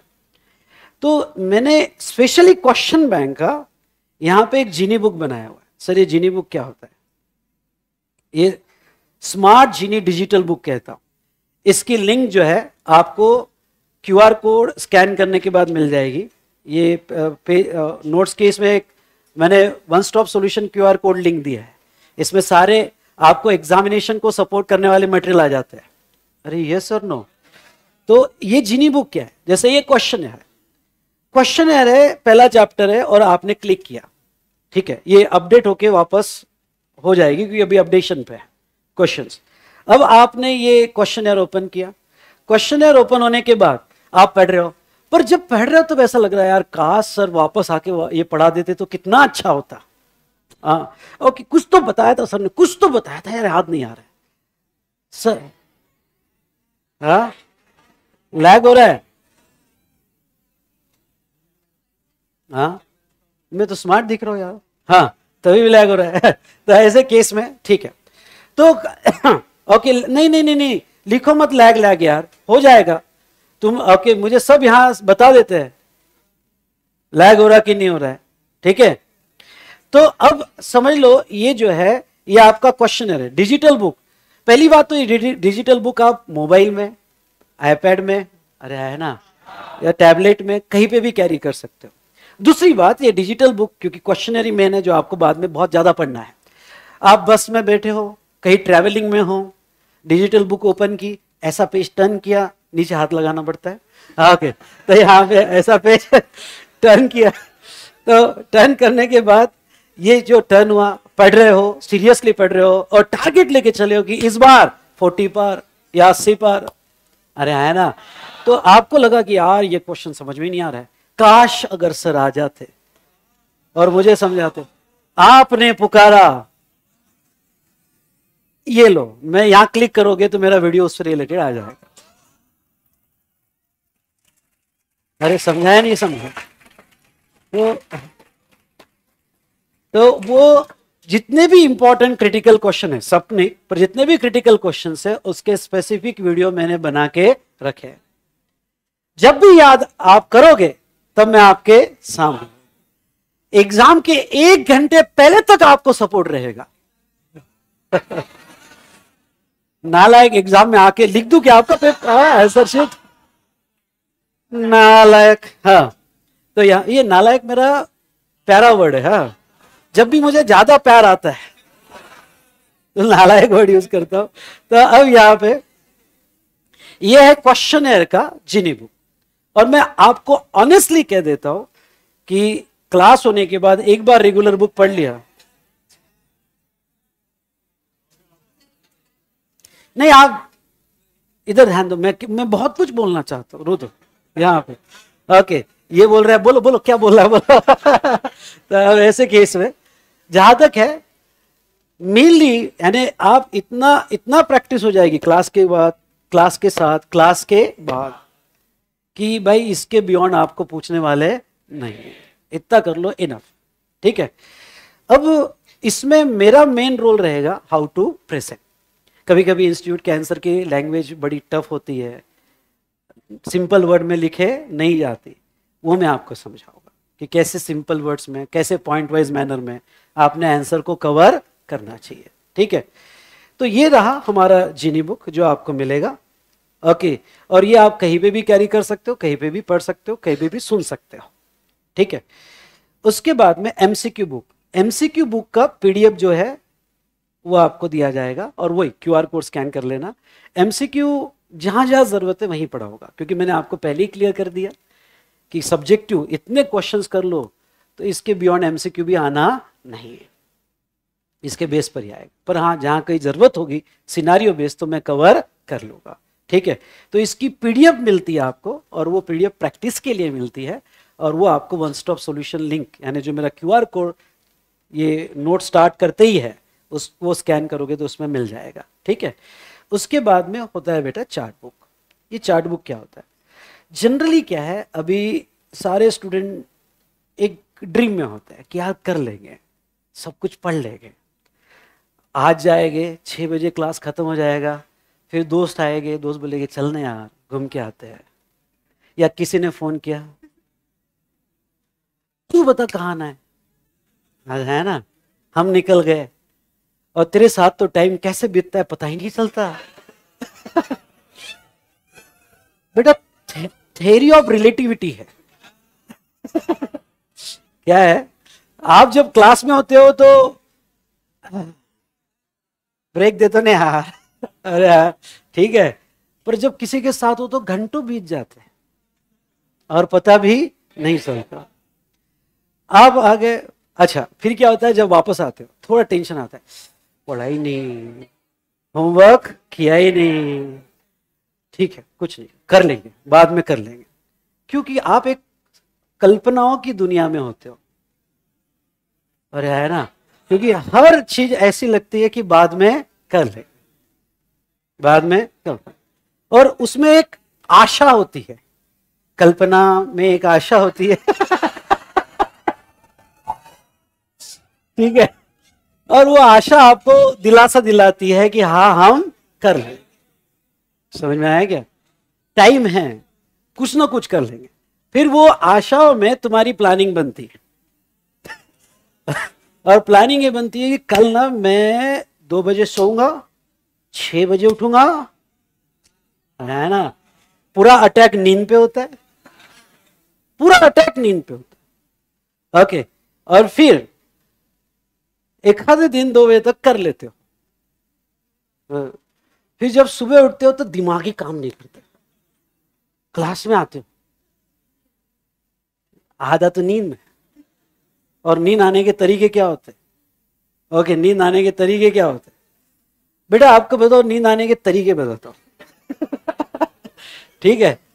अगर किसी ने ऐसा किया क्लास में मतलब समझ जाना कि वो मेडिटेशन में जाने वाला है, या फिर थोड़ी देर बाद, अब जैसा आपको ऐसा लग रहा होगा, कान तो सुन रहे हैं, सर कौन से इतने स्मार्ट है? कान अपना काम कर रहा है, सुन रहा है। वैसे भी सर थोड़े बहुत अभी पहले इलेक्शन में स्लो चल रहा है। अरे आया ना। फिर कान जब सुन रहे हो और आप आँखें बंद कर लेते हो तो आपको ऐसा लगता है, मैच क्यों? आँखें बंद कर सॉरी आप आँखें बंद कर लेते हो तो कान को ऐसा लगता है कि मैच क्यों? वो भी धीरे धीरे बंद हो जाता है। अरे है ना तो मेरे क्लास में अगर कोई सोया तो मैं उसको पनिशमेंट नहीं दूँगा। उनके जो बाजू में बैठे हैं, उनकी कोई सोशल रिस्पॉन्सिबिलिटी बनती है नालायकों उनको पनिशमेंट दूँगा। समझे कि नहीं समझे? हाँ तो ऐसे केस में, अब क्या होता है? तुम्हारी अभी भी आशा होती है कि कर लोगे। प्लानिंग कुछ जम नहीं रही। क्लास सुबह से लेके शाम तक होमवर्क पे होमवर्क पेंडिंग होते जा रहा है। उसमें भी छुट्टियाँ होगी तो पेंडिंग लेक्चर तो और सिर पे आ गया। अरे सुनो, फिर जब सारे क्लासेस खत्म हो जाते हैं, फिर ऐसा होता है कि यार टाइम नहीं रहा। कुछ ऐसा शॉर्ट में मिल जाए। ऐसा है ना? इतना कौन पड़ेगा मॉड्यूल वन आ! समझ? फिर इस पर से मॉड्यूल टू ओके, ये भाई मॉड्यूल टू आ गया था मॉड्यूल टू अरे बाप रे! सर, इतना बड़ा है? नहीं नहीं। थोड़ी साइज़ कम कर दी मैंने। अब ये मॉड्यूल टू कौन पड़ेगा ऊपर से ये क्वेश्चन है अरे है ना। तो ऐसे सिचुएशन में फिर ऐसा हो जाता है। सर, कुछ कुछ ऐसा है जो ये 300-400 पेजेस 50 पेजेस में खत्म हो जाए? फिर आता है मेरा चार्ट अरे है ना? फिर आता है क्या? चार्ट ये 30 40 पेजेस में पूरा जीएसटी खत्म कर देता है। क्या सर, एक बार फिर से बताओ? 30 40 पेजेस में पूरा जीएसटी खत्म। पर ये तभी समझ में आता है जब ये समझा हो। जब यही समझा हो तो एग्ज़ाम के एक महीने पहले या एग्ज़ाम के डेढ़ महीने पहले ये आपको बहुत हेल्प करता है। चार्ट बुक जिसमें सारे कॉन्सेप्ट को मैं कनेक्ट करता हूँ और मोस्ट ऑफ़ द पॉइंट्स जो इंपॉर्टेंट है मैंने कवर किए हैं। हाँ कुछ अगर आपको ऐसे लगे एक्स्ट्रा तो होने चाहिए तो लिख के यहाँ स्टेबल मार देना अटैच कर देना, कोई पेज पे लिख के। Done but chart book definitely आपको बहुत हेल्प करेगा। जैसे मैं थोड़ा एग्ज़ाम्पल बताना चाहूँगा। ये एक फाइनल का चार्ट बुक है, ये जो है। अब पहला इंट्रोडक्शन चैप्टर ये ये देखो, पूरे मैंने चार्ट्स बनाए हुए। ओके ये जो चार्ट्स है, यहाँ पे। और ये चार्ट पूरा प्रिंटेड आपको मिलेगा। पूरे कॉन्सेप्ट पूरा पहला इंट्रोडक्शन चैप्टर जो 40 पेजेस का है, एक पेज में खत्म किया है। समझ में आया? आगे जो सप्लाई चैप्टर है लेवी और सप्लाई ये अराउंड 50 60 पेजेस का है, ये तीन पेजेस में खत्म किया है। और ये चार्ट बुक यूज़ करके। नो no डाउट ये जो चार्ट्स वगैरह है तो वो हम अलग से नोट्स में निकालेंगे, जिसमें आपको बता रहा हूँ कि ये चार्ट बुक डेफिनेटली आपको हेल्प करेगा और इसको भी मैं क्लास में रिवाइज करते वक्त यूज़ करूँगा। डन ओके तो चलिए। ये था रिगार्डिंग टू चार्ट बुक इसका एक मॉडल आपको दिया जाएगा। और क्या होता है बेटा, मैं आपको एक फ्रेंकली बात बता देता हूँ। होते क्या है? कैसा है? रेगुलर क्लास में हम जैसी फैकल्टी बहुत मेहनत करती है आपको। हर कॉन्सेप्ट को समझाती है। चिल्ला चिल्ला के बोलती है, ये समझो। और आप जितना मैं चिल्ला के बोलू, समझो आप हाँ समझा। हाँ समझा। क्या समझाना पर क्या होता है, आप अपनी आदत से लगे हुए हैं, जो आपकी हैबिट से चालू है। फिर क्या होता है, जब एग्ज़ाम के डेढ़ दो महीने पहले सेम सब्जेक्ट की कोई फैकल्टी यूट्यूब पे आती है, और वो आपको कहती है कि, ये देखो कितने फास्ट में होता है।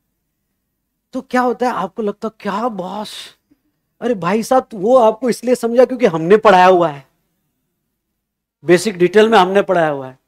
ओके पर आपको ऐसा लगता है कि अरे ओके ये तो इसलिए शॉर्ट शॉर्ट में कितना फास्ट बता दिया। ओके यही है भाई साहब, मैं आपको ये कहने वाला हूँ, मेरे क्लास में हनुमान भी मैं बनाऊँगा और उड़ना कैसे मैं ही सिखाऊं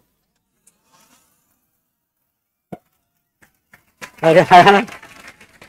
तो इससे आपको बलशाली बनाऊँगा अरे आया ना।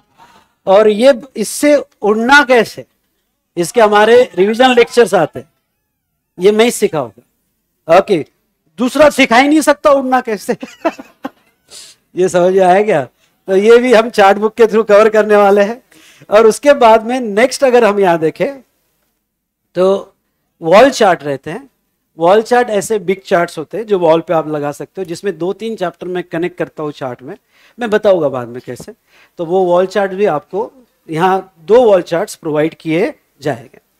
ये वॉल चार्ट का जस्ट एक ऑब्जेक्ट क्या होता है कि वही वॉल चार्ट को चार्ट बुक में लिया है, पर आपने चार्ट बुक में देख लिया, मेरे साथ डिस्कस कर लिया। तो कभी कभी क्या होता है कि जब आप रूम में लगाते हो वॉल चार्ट्स तो जस्ट कनेक्शन देखते ही कॉन्सेप्ट याद आ जाते हैं। अरे यस और नो तो वो वॉल चार्ट आपको वो हेल्प करता है। कि आपको पढ़ना नहीं है, पर आपको समझ गया supply okay first second second में दो पार्ट ये, जैसे कनेक्शन देख लोगे, आपको पूरा कॉन्सेप्ट याद आ जाएगा। यस और नो तो ये पूरा कंप्लीट मटेरियल आपको मिलने वाला है। जो अभी मेरे साथ फेस टू फेस या लाइव स्ट्रीमिंग में क्लास कर रहे हैं, या जो अभी रिकॉर्डेड सेशन ले रहे है तो मैं आपको ये बता दूँ कि आपको अभी सिर्फ़ मैंने मॉड्यूल वन डिस्पैच किया है। बाकी पूरा यहाँ पे मटेरियल आपको सेकंड शिपमेंट में आएगा। और आने वाले दस दिन में आपको सेकंड शिपमेंट मिल जाएगी। ठीक है? मिल जाएगी मतलब मैं डिस्पैच करूँगा। मेरा टारगेट है कि 20 तारीख तक तो सो दैट आपको बाद में पाँच छः दिन में मिल जाएगा। ठीक है? तो ये था regarding to okay class material उसके बाद में अमेंडमेंट्स एक सवाल आता है कि, सर अमेंडमेंट्स कैसे कवर होती है? जिसका अटेम्प्ट यहाँ पे मे 25 है। कितने स्टूडेंट है मे 25 के लिए? सारे ऑब्वियस है। पूछना भी गलत था। हाँ। कितने नवंबर 25 में? सॉरी सितंबर 25 में? अच्छा सितंबर 25 में। तो मैं आपको ये बता दूँ, ये जो मैं पढ़ा रहा हूँ, ये मे एज वेल एज सितंबर दो अटेम्प्ट के लिए अप्लीकेबल होगा। हाँ जो आगे जनवरी में आएगा आई रिपीट द वर्ड क्या? जनवरी जनवरी ट्वेंटी सिक्स में। I repeat January twenty six में उसको थोड़ी बहुत एक्स्ट्रा अमेंडमेंट्स आ सकती है। ठीक है?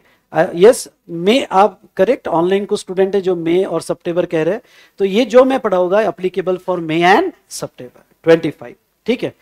तो आपको अमेंडमेंट जो लगती है आपकी कट ऑफ़ डेट है thirty first October two thousand क्या?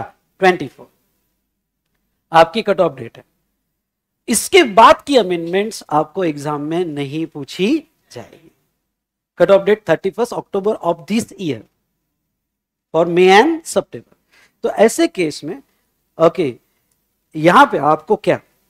तो जो अभी फाइनेंस एक्ट आया फाइनेंस एक्ट 2024 वो अप्लीकेबल होगा। और सारे notifications notifications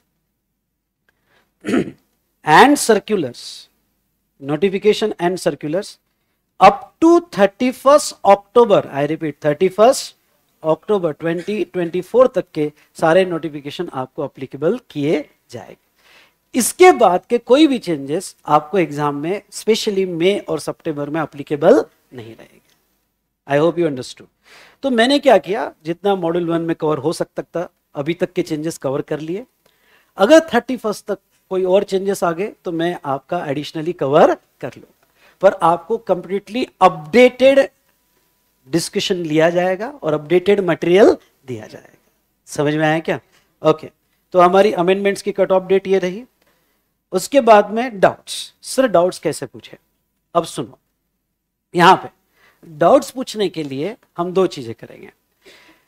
यहाँ क्लास के बाद दस मिनट तो मैं रहूँगा। दूसरा आपको जो ऐप दिया हुआ है तो मोबाइल ऐप में आप मोबाइल में भी देख सकते हो एज वेल एज आप लैपटॉप पे भी देख सकते हो। तो वहाँ क्यू एंड ए का एक टैब दिया हुआ है। वहाँ मेरी पूरी टीम कनेक्टेड है to solve your doubt at chartered accountants है जो मेरे जीएसटी रिसर्च में मुझे प्रोफेशनल के लिए भी हेल्प करते हैं और आपकी क्वेरीज भी सॉल्व करते हैं। ठीक है? हाँ क्वेरीज को थोड़ा टाइम लेना।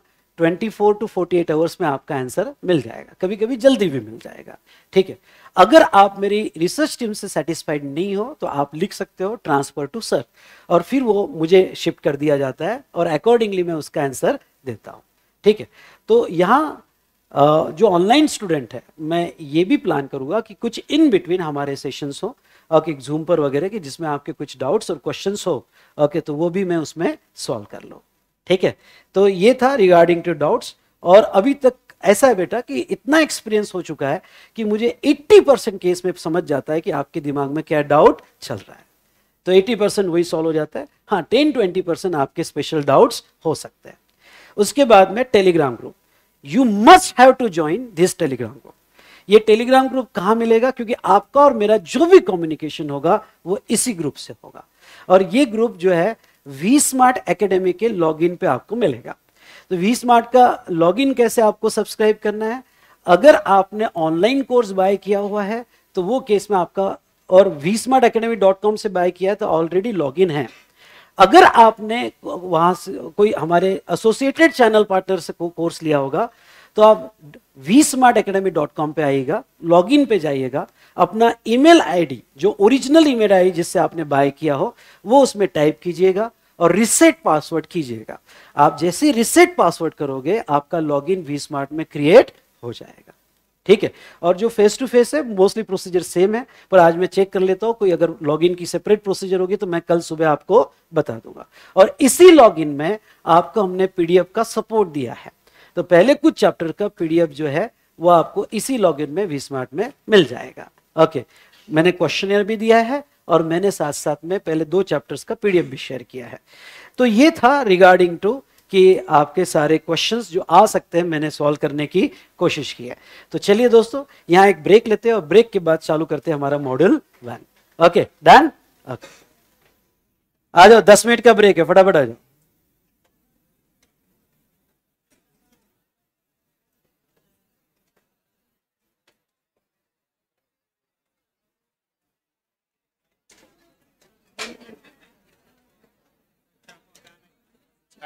नाही त्याच्यात टिफिन असेल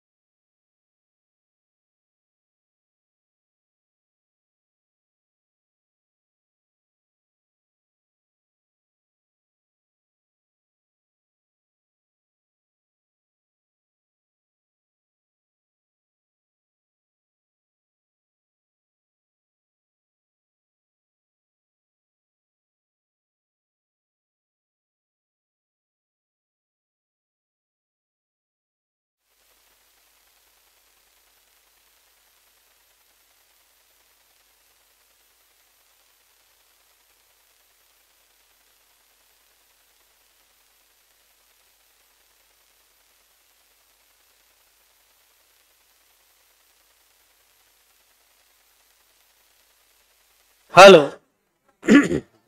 यस जो ऑनलाइन स्टूडेंट्स हैं, उनके कोई क्वेरीज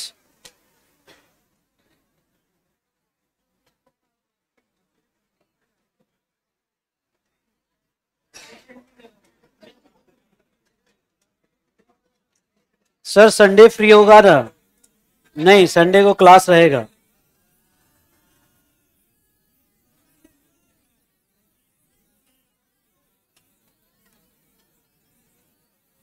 सर, अभी कौन सी बुक बनानी है?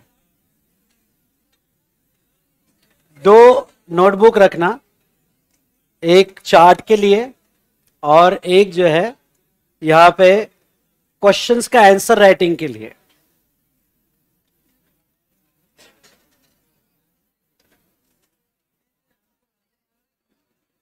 वीक में कितने दिन क्लासेस रहती है? सेवन डेज़ होते हैं बेटा सेवन डेज़ क्लासेस रहती है।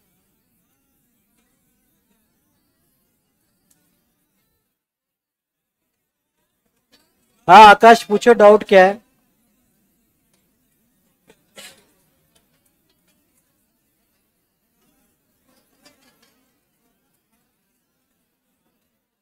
बैकअप सेम डे मिल जाएगा बेटा, शाम तक अपलोड हो जाएगा बैकअप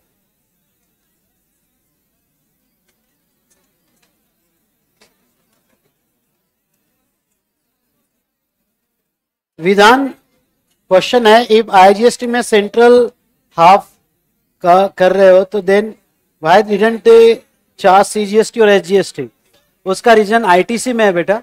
तो मैं आईटीसी कॉन्सेप्ट पढ़ाने के बाद आपको आईजीएसटी वाला आपका आंसर दूँगा।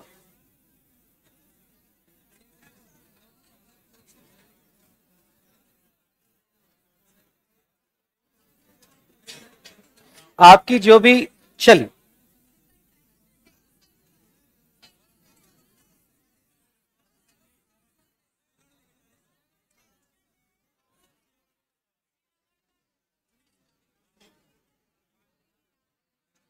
चलिए।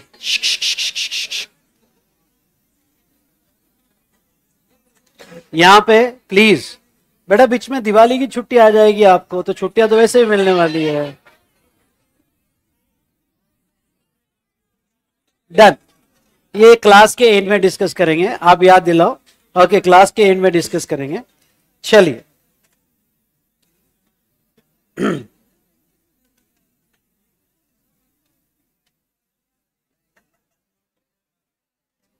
बेटा, आपके जो भी क्वेश्चंस डाउट है क्लास के एंड में डिस्कस करते हैं। ठीक है? और मैं आपको एश्योर करता हूँ, आपके सारे डाउट्स इवन ऑनलाइन के स्टूडेंट्स थोड़ा स्पेशल रखना। ओके बिल्कुल ये मत सोचना, नहीं तुम्हारे मैसेज चालू जाते हैं। सर हमारे तरफ़ ध्यान ही नहीं देते। ओके तो मैं जस्ट ये बताऊँगा कि सब मैं आपके डाउट्स लूँगा डोंट वरी और कभी कभी क्या होता है, कुछ क्वेश्चन के आंसर आगे के एक्सप्लेनेशन में आते हैं। ठीक है? और आपके आईटी रिलेटेड डाउट्स और डिस्पैच रिलेटेड डाउट्स भी एंड में लेंगे।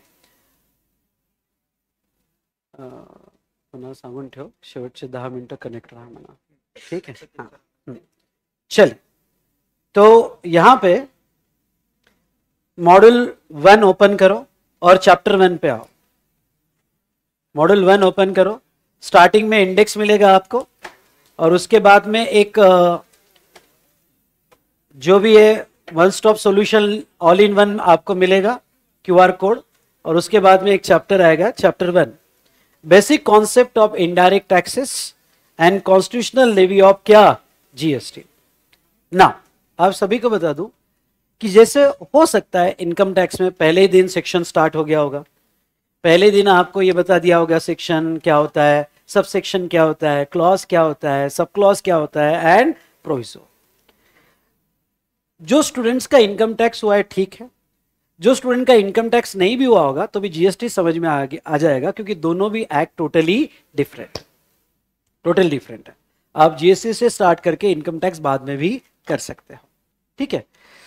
और यहाँ ये बता दू कि मैं ये जो पहला चैप्टर है जीएसटी का बेसिक समझने के लिए बहुत ज़रूरी है।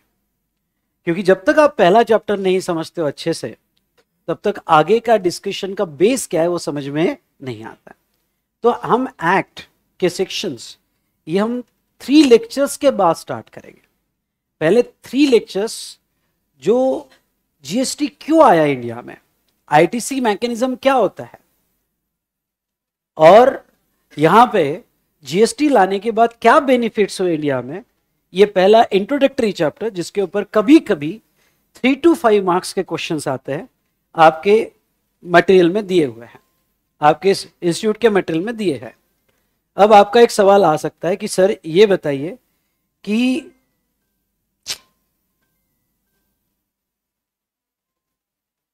हाँ सर, ये अगर हम मटेरियल पढ़ते हैं तो क्या हमारे इंस्टीट्यूट का मटेरियल सेपरेटली हमें पढ़ना पड़ेगा? कोई ज़रूरत नहीं है। क्योंकि ये जो रेगुलर मैट मैंने बनाया है, ये हमारे इंस्टीट्यूट को बेस लेके ही बनाया है। तीनों C S C M and C S ठीक है? तो don't worry everything is covered okay mat में. दूसरा, जहाँ तक ये सारे क्वेश्चन बैंक में प्रैक्टिस क्वेश्चंस भी मैंने ले लिए हैं। अब ये चैप्टर में यहाँ पे थोड़ा पेशेंस आपको रखना पड़ेगा। जब हम कनेक्ट हो गए, क्योंकि more than four thousand students ये अभी देख रहे हैं कि डेली बेसिस पे देखेंगे। हो सकता है कुछ स्टूडेंट्स यहाँ पे ना बहुत ही कम, मैं तो पूरी कोशिश करूँगा, पर कुछ स्टूडेंट्स कनेक्ट नहीं कर पाए तो मुझे थोड़ा टाइम देना। वैसे ये तो मेरी गारंटी है कि मैं फ़र्स्ट डे से ही फ़र्स्ट कॉन्सेप्ट से ही आपको जो है पूरा पूरा ओके आप जीएसटी का बैकग्राउंड में ही पूरा आपको कनेक्ट करूँगा। लेकिन अगर कुछ स्टूडेंट्स नहीं कनेक्ट हो पाए तो मुझे थोड़ा टाइम देना। मैं आपको गारंटी देता हूँ कि जीएसटी आपका one of the most favourite subject बन जाएगा। Okay okay. और जब प्रैक्टिकल हम सिर्फ़ जीएसटी में थेरी नहीं देखने वाला है।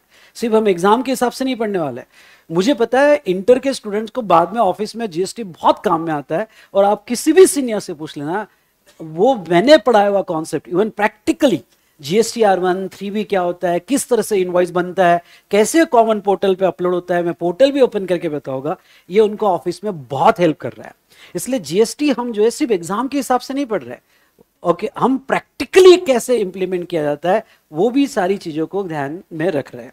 ओके तो जैसा आप बिज़नेस से कनेक्टेड नहीं हो जीएसटी बिज़नेस टैक्स है, इसलिए इनिशियल स्टेज पे थोड़ा ऐसा लग सकता है कि समझ में आ रहा है, पर कनेक्शन नहीं फिट हो रहा है तो वो धीरे धीरे आपका हो जाएगा, ये मेरी गारंटी चल, ये चैप्टर देखेंगे तो इंट्रोडक्शन ऑफ़ क्या? जीएसटी वो हम देखेंगे जीएसटी का इंट्रोडक्शन उसके बाद में नेक्स्ट यहाँ पे इस चैप्टर में टैक्सेस कौन से सबसे हुए now goods and service tax जो जीएसटी है, वो कैसे इंपॉर्टेंट रोल प्ले किया? कॉन्स्टिट्यूशनल प्रोविज़न क्या है?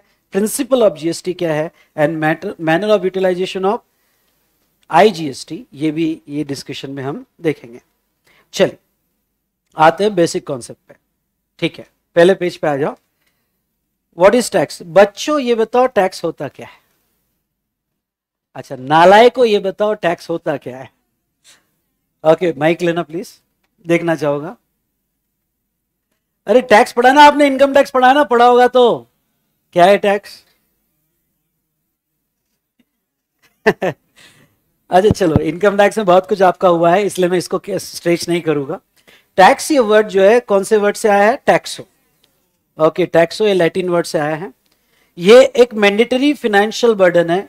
इम्पोज ऑन इंडिविजुअल और लीगल एंटिटी तो यहाँ पे रेडी रखना माइक ओके मैं ये अब आगे का डिस्कशन पूरा इंटरेक्टिव लेने वाला हूँ. ओके तो यहाँ पे मैंडेटरी फिनेंशियल बर्डन भाई ये कोई ऑप्शनल नहीं है मैंडेटरी है. और गवर्नमेंट कंपलसरी लगाती है कि अगर इसको ऑप्शनल दे दिया जाए तो कौन पे करने वाला? ओके मैंडेटरी रहेगा. और एक तरह का फिनेंशियल बर्डन है. मैं इसे कहता हूँ इवन दो रिकॉर्ड हो रहा है तो भी मैं इसे कहता हूँ ये गवर्नमेंट का लीगल मैंडेटरी हफ़्ता है। समझ रहे क्या?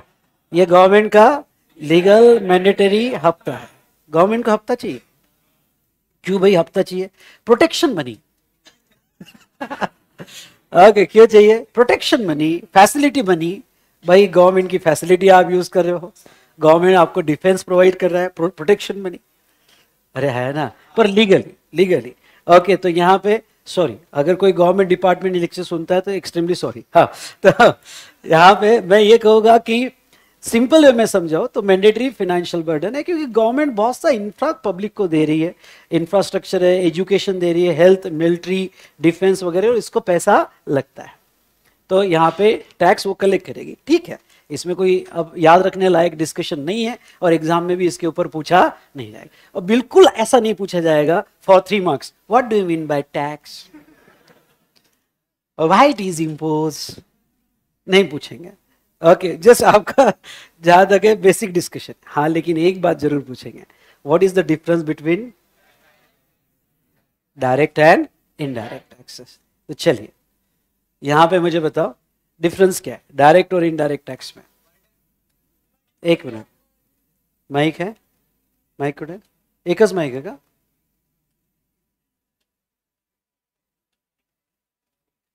घेऊन ये हाँ बताओ कौन बताना चाहता है पहला डिफरेंस डिफरेंस बिटवीन डायरेक्ट और indirect taxes burden can be shifted burden can not be shifted मतलब? डायरेक्ट में बर्डन शिफ्ट नहीं होता है इनडायरेक्ट में शिफ्ट कर सकते हैं बर्डन क्यों? टैक्स की लाइबिलिटी का। क्योंकि जैसे सेलर कर सकता है बायर पे शिफ्ट क्यों?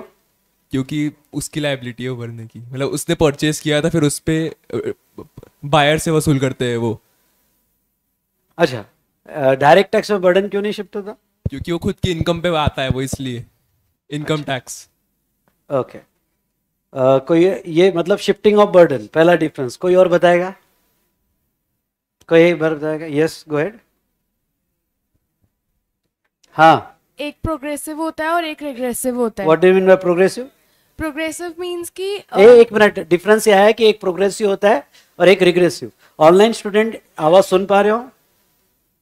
हाँ तो बोलो नालायक हो। हाँ तो एक प्रोग्रेसिव होता है और आप भी ट्राई करो मैं देख रहा हूँ। तो प्रोग्रेसिव मतलब? प्रोग्रेसिव मतलब कि इनकम स्लैब रेट के अकॉर्डिंग लग इनकम जितनी है आपकी वो मतलब गरीबों में इतना नहीं लगता है जितना अमीरों पर लगता है। और रिग्रेसिव मतलब कि फिक्स्ड है। वो चेंज नहीं होगा। अगर 18 परसेंट है तो 18 परसेंट लगेगा चाहे इनकम आपकी जो मर्ज़ी हो। और इनडायरेक्ट टैक्स रिग्रेसिव क्यों है? मैं पढ़ा तो इसलिए। हाँ? इसका रीज़न नहीं पता। अच्छा इसका रीजन नहीं पता। ठीक है। आ, चलो एक डिफरेंस तो मिला। प्रोग्रेसिव एंड रिग्रेसिव लिखने के लिए अच्छा है। ओके थर्ड ए ये कोशिश कर रहा है बंदा।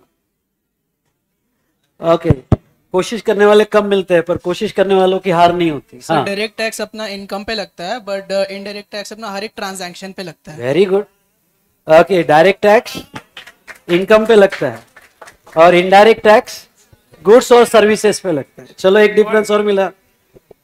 ओके कुछ ऑनलाइन स्टूडेंट भी दे रहे मैं देख रहा हूँ। Sir IDT tax indirect tax लिया जाता है गवर्नमेंट के द्वारा। कुछ समझा नहीं बेटा? हाँ। एक बार आप क्लैरिफाई करो। यस एक लास्ट उधर। Please okay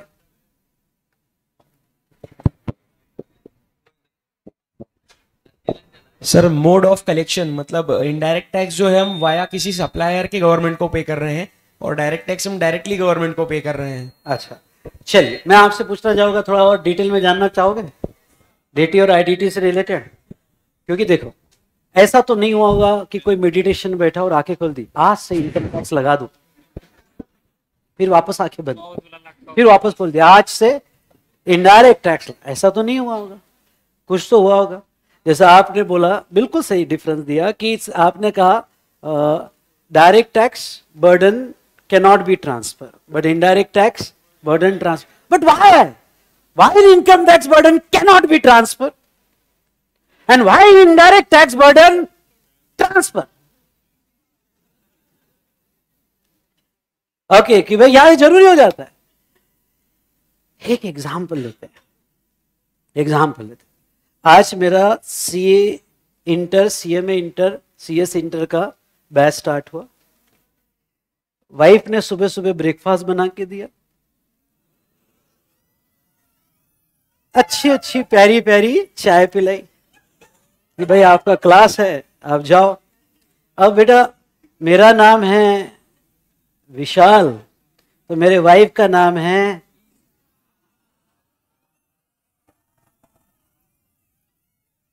अच्छा ये नाम शादी के बाद नहीं रखा गया, वो पहले से ही है।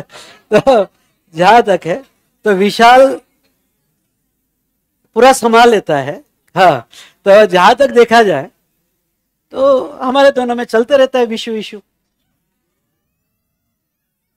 नालायक, मेरे को पीछे से आवाज़ मत देना विशु हाँ। तो तो दो दो खींच के दूँगा ना, और ऑनलाइन स्टूडेंट का तो बाहर निकल के दूँगा खींच के हाँ। तो यहाँ पे बिल्कुल यह समझ लो। तो जहाँ तक देखा जाए तो आज क्लास चालू हुआ। समझ लो ये क्लास का इनकम मेरा हुआ एग्ज़ाम्पल लो, पाँच लाख रुपए। नहीं नहीं, इतना ही, वो तो शुभम सर ज़्यादा कमाते जय सर ज़्यादा कमाते मैं तो इतना ही कमा लेता मैं तो इतना ही कमा लेता हूँ। तो पाँच लाख रुपए का इनकम हुआ। अब ये इनकम शुद्ध नफा मतलब नेट प्रॉफिट अरे, समझ में आया क्या? एक्सपेंसेस जाकर। अब ये इनकम हुआ मेरा, और इसमें सारे एक्सपेंसेस डिडक्ट हो गए वॉट एवर इट में भी ठीक है, इसके बाद मैं इसका इनकम टैक्स दे रहा हूँ। समझ ले पाँच लाख का। तो पाँच लाख का इनकम टैक्स दे रहा हूँ। अज्यूम मैं एक टेन परसेंट वाले स्लैब में आता हूँ, ज़्यादा नहीं। अरे टेन परसेंट वाले स्लैब में आता हूँ, ज़्यादा नहीं। तो यहाँ पे मैं इसका इनकम टैक्स कितना गवर्नमेंट को कितना पे कर रहा हूँ? अबे टेन परसेंट नालायक। तो यहाँ पे फिफ्टी थाउज़ेंड रुपीज़ मैं गवर्नमेंट को पे कर रहा हूँ। तो मेरे पास कितना अमाउंट बचा? फोर लैख फिफ्टी थाउज़ेंड मैंने तो गवर्नमेंट को पे किया। और ये मेरा पूरा प्रॉफिट है। सब खर्चे वर्चे जाके इतना बचा। ओके तो समझ लो मैं ये पैसा लेके घर पे जा रहा हूँ। मेरे वाइफ ने कहा ओजी सुनते हो? ओजी ओजी कौन बोलता है? विशु? हाँ। तो तो यहाँ पे उसने कहा विशु आ, आज ना मुझे शॉपिंग करने जाना है। उसको पता था बैच चालू हुआ। ओके शॉपिंग करने जाना है। My wife is interior decorator लेकिन मेरे से पैसा लेने में मज़ा ही अलग है। हाँ। तो वैसे केस में फिर शॉपिंग के लिए जाना है फिफ्टी थाउज़ेंड मैंने कहा फिफ्टी शादी के बाद आवाज़ ब्रेक हो जाती बेटा ऐसी। हाँ।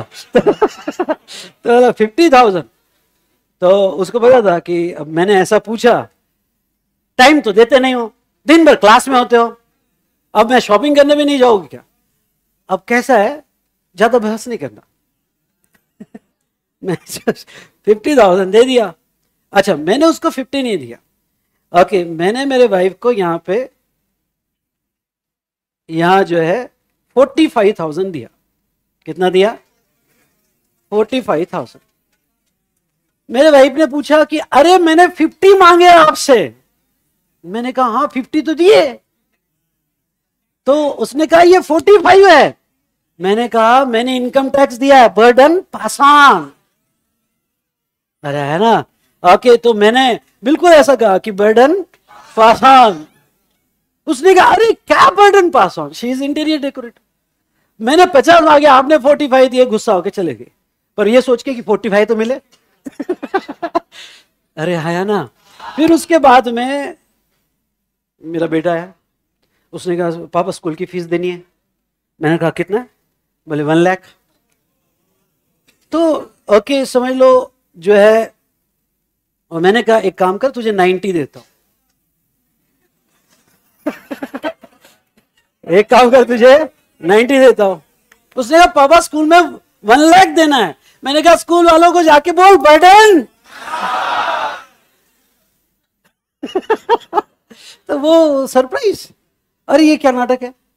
ओके नाइन्टी थाउज़ेंड मिल रहा है। उसके बाद नहीं बड़ा इंटरेस्टिंग बैकग्राउंड है इसका। डायरेक्ट एंड इनडायरेक्ट मैं चाहता हूँ कि थोड़ा टाइम लगेगा, पर समझ लो। ज़िंदगी में ये कंफ्यूजन ही नहीं रहेगा वो, कि डायरेक्ट क्या होता है और इनडायरेक्ट क्या। समझ में आया क्या? तो अब यहाँ पे नाइन्टी थाउज़ेंड फिर मेरे पापा मम्मी आए उन्होंने कहा कि बेटा, यहाँ पे पचास हज़ार दो। मैंने बिना कुछ कह दे दिए। अरे पर मैंने कितने दिए? Forty five burden pass on तो जब मैं सबको ऐसा कर रहा हूँ कि burden pass on burden pass on ten ten ten ten अरे आया ना। बर्डन, पास ऑन पता चला, शाम को मैं घर के बाहर हूँ और सब बोल रहे, बर्डन, पास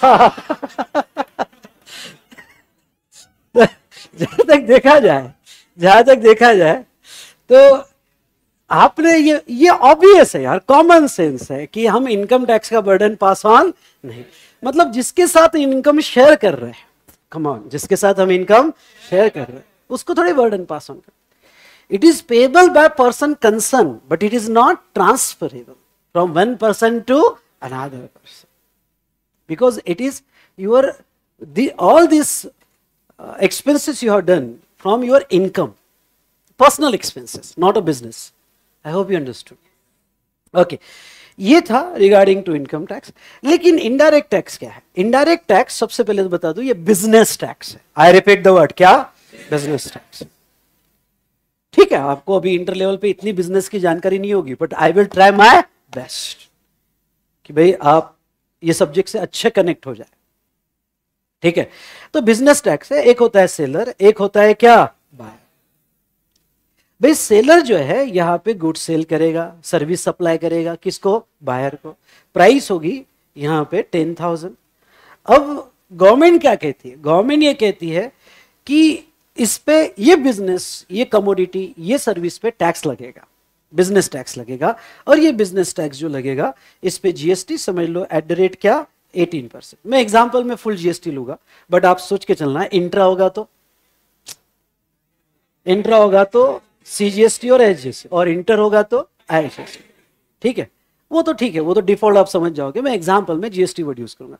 मैं 18 परसेंट तो 18 परसेंट कितना होता है? 1800 तो गवर्नमेंट कहती है ये टैक्स सप्लायर हमको पे करेगा। आई रिपीट ये टैक्स सप्लायर हमको पे करेगा। कितना जीएसटी 1800 लेकिन ये आगे कस्टमर को बर्डन पास ऑन कर देगा। इन द इनवॉइस ये जो आपका इनवॉइस रहेगा के पास ऑन कर तो ये बर्डन सप्लायर पे नहीं आएगा। ये पर्सन बर्डन किसके ऊपर आएगा? बायर पे। और एक्चुअल टैक्स देने वाला बायर है। आई रिपीट एक्चुअल टैक्स देने वाला बायर है। बट वो डायरेक्ट दे रहा है या इनडायरेक्ट दे रहा है?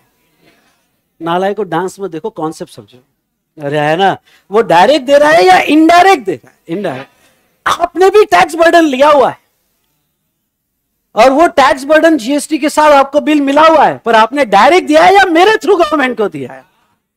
आपने भी गवर्नमेंट के रेवेन्यू में कंट्रीब्यूट किया है और पल पल कंट्रीब्यूट करते हो आप। सुबह सब, सुबह जब किसी के साथ सीसीडी में जा रहे हो, कॉफ़ी पे जीएसटी अरे है ना। फिर कहीं पे कोई रेस्टोरेंट में जा रहे हो फ़ूड पे जीएसटी कोई ट्रैवल कर रहे हो, उस पर भी जीएसटी क्लास में आ रहे हो जीएसटी मेस है जीएसटी सर, पर मेस में जीएसटी तो लगाया नहीं कभी ने। वो नहीं लगाते बाद अलग। या वो इंक्लूसिव होता है। अरे है ना। पर आप पल पल गवर्नमेंट के रेवेन्यू में कंट्रीब्यूट कर रहे हो। I hope you understood but directly नहीं, किसके थ्रू इनडायरेक्ट अब एक एग्ज़ाम्पल लेना चाहूँगा।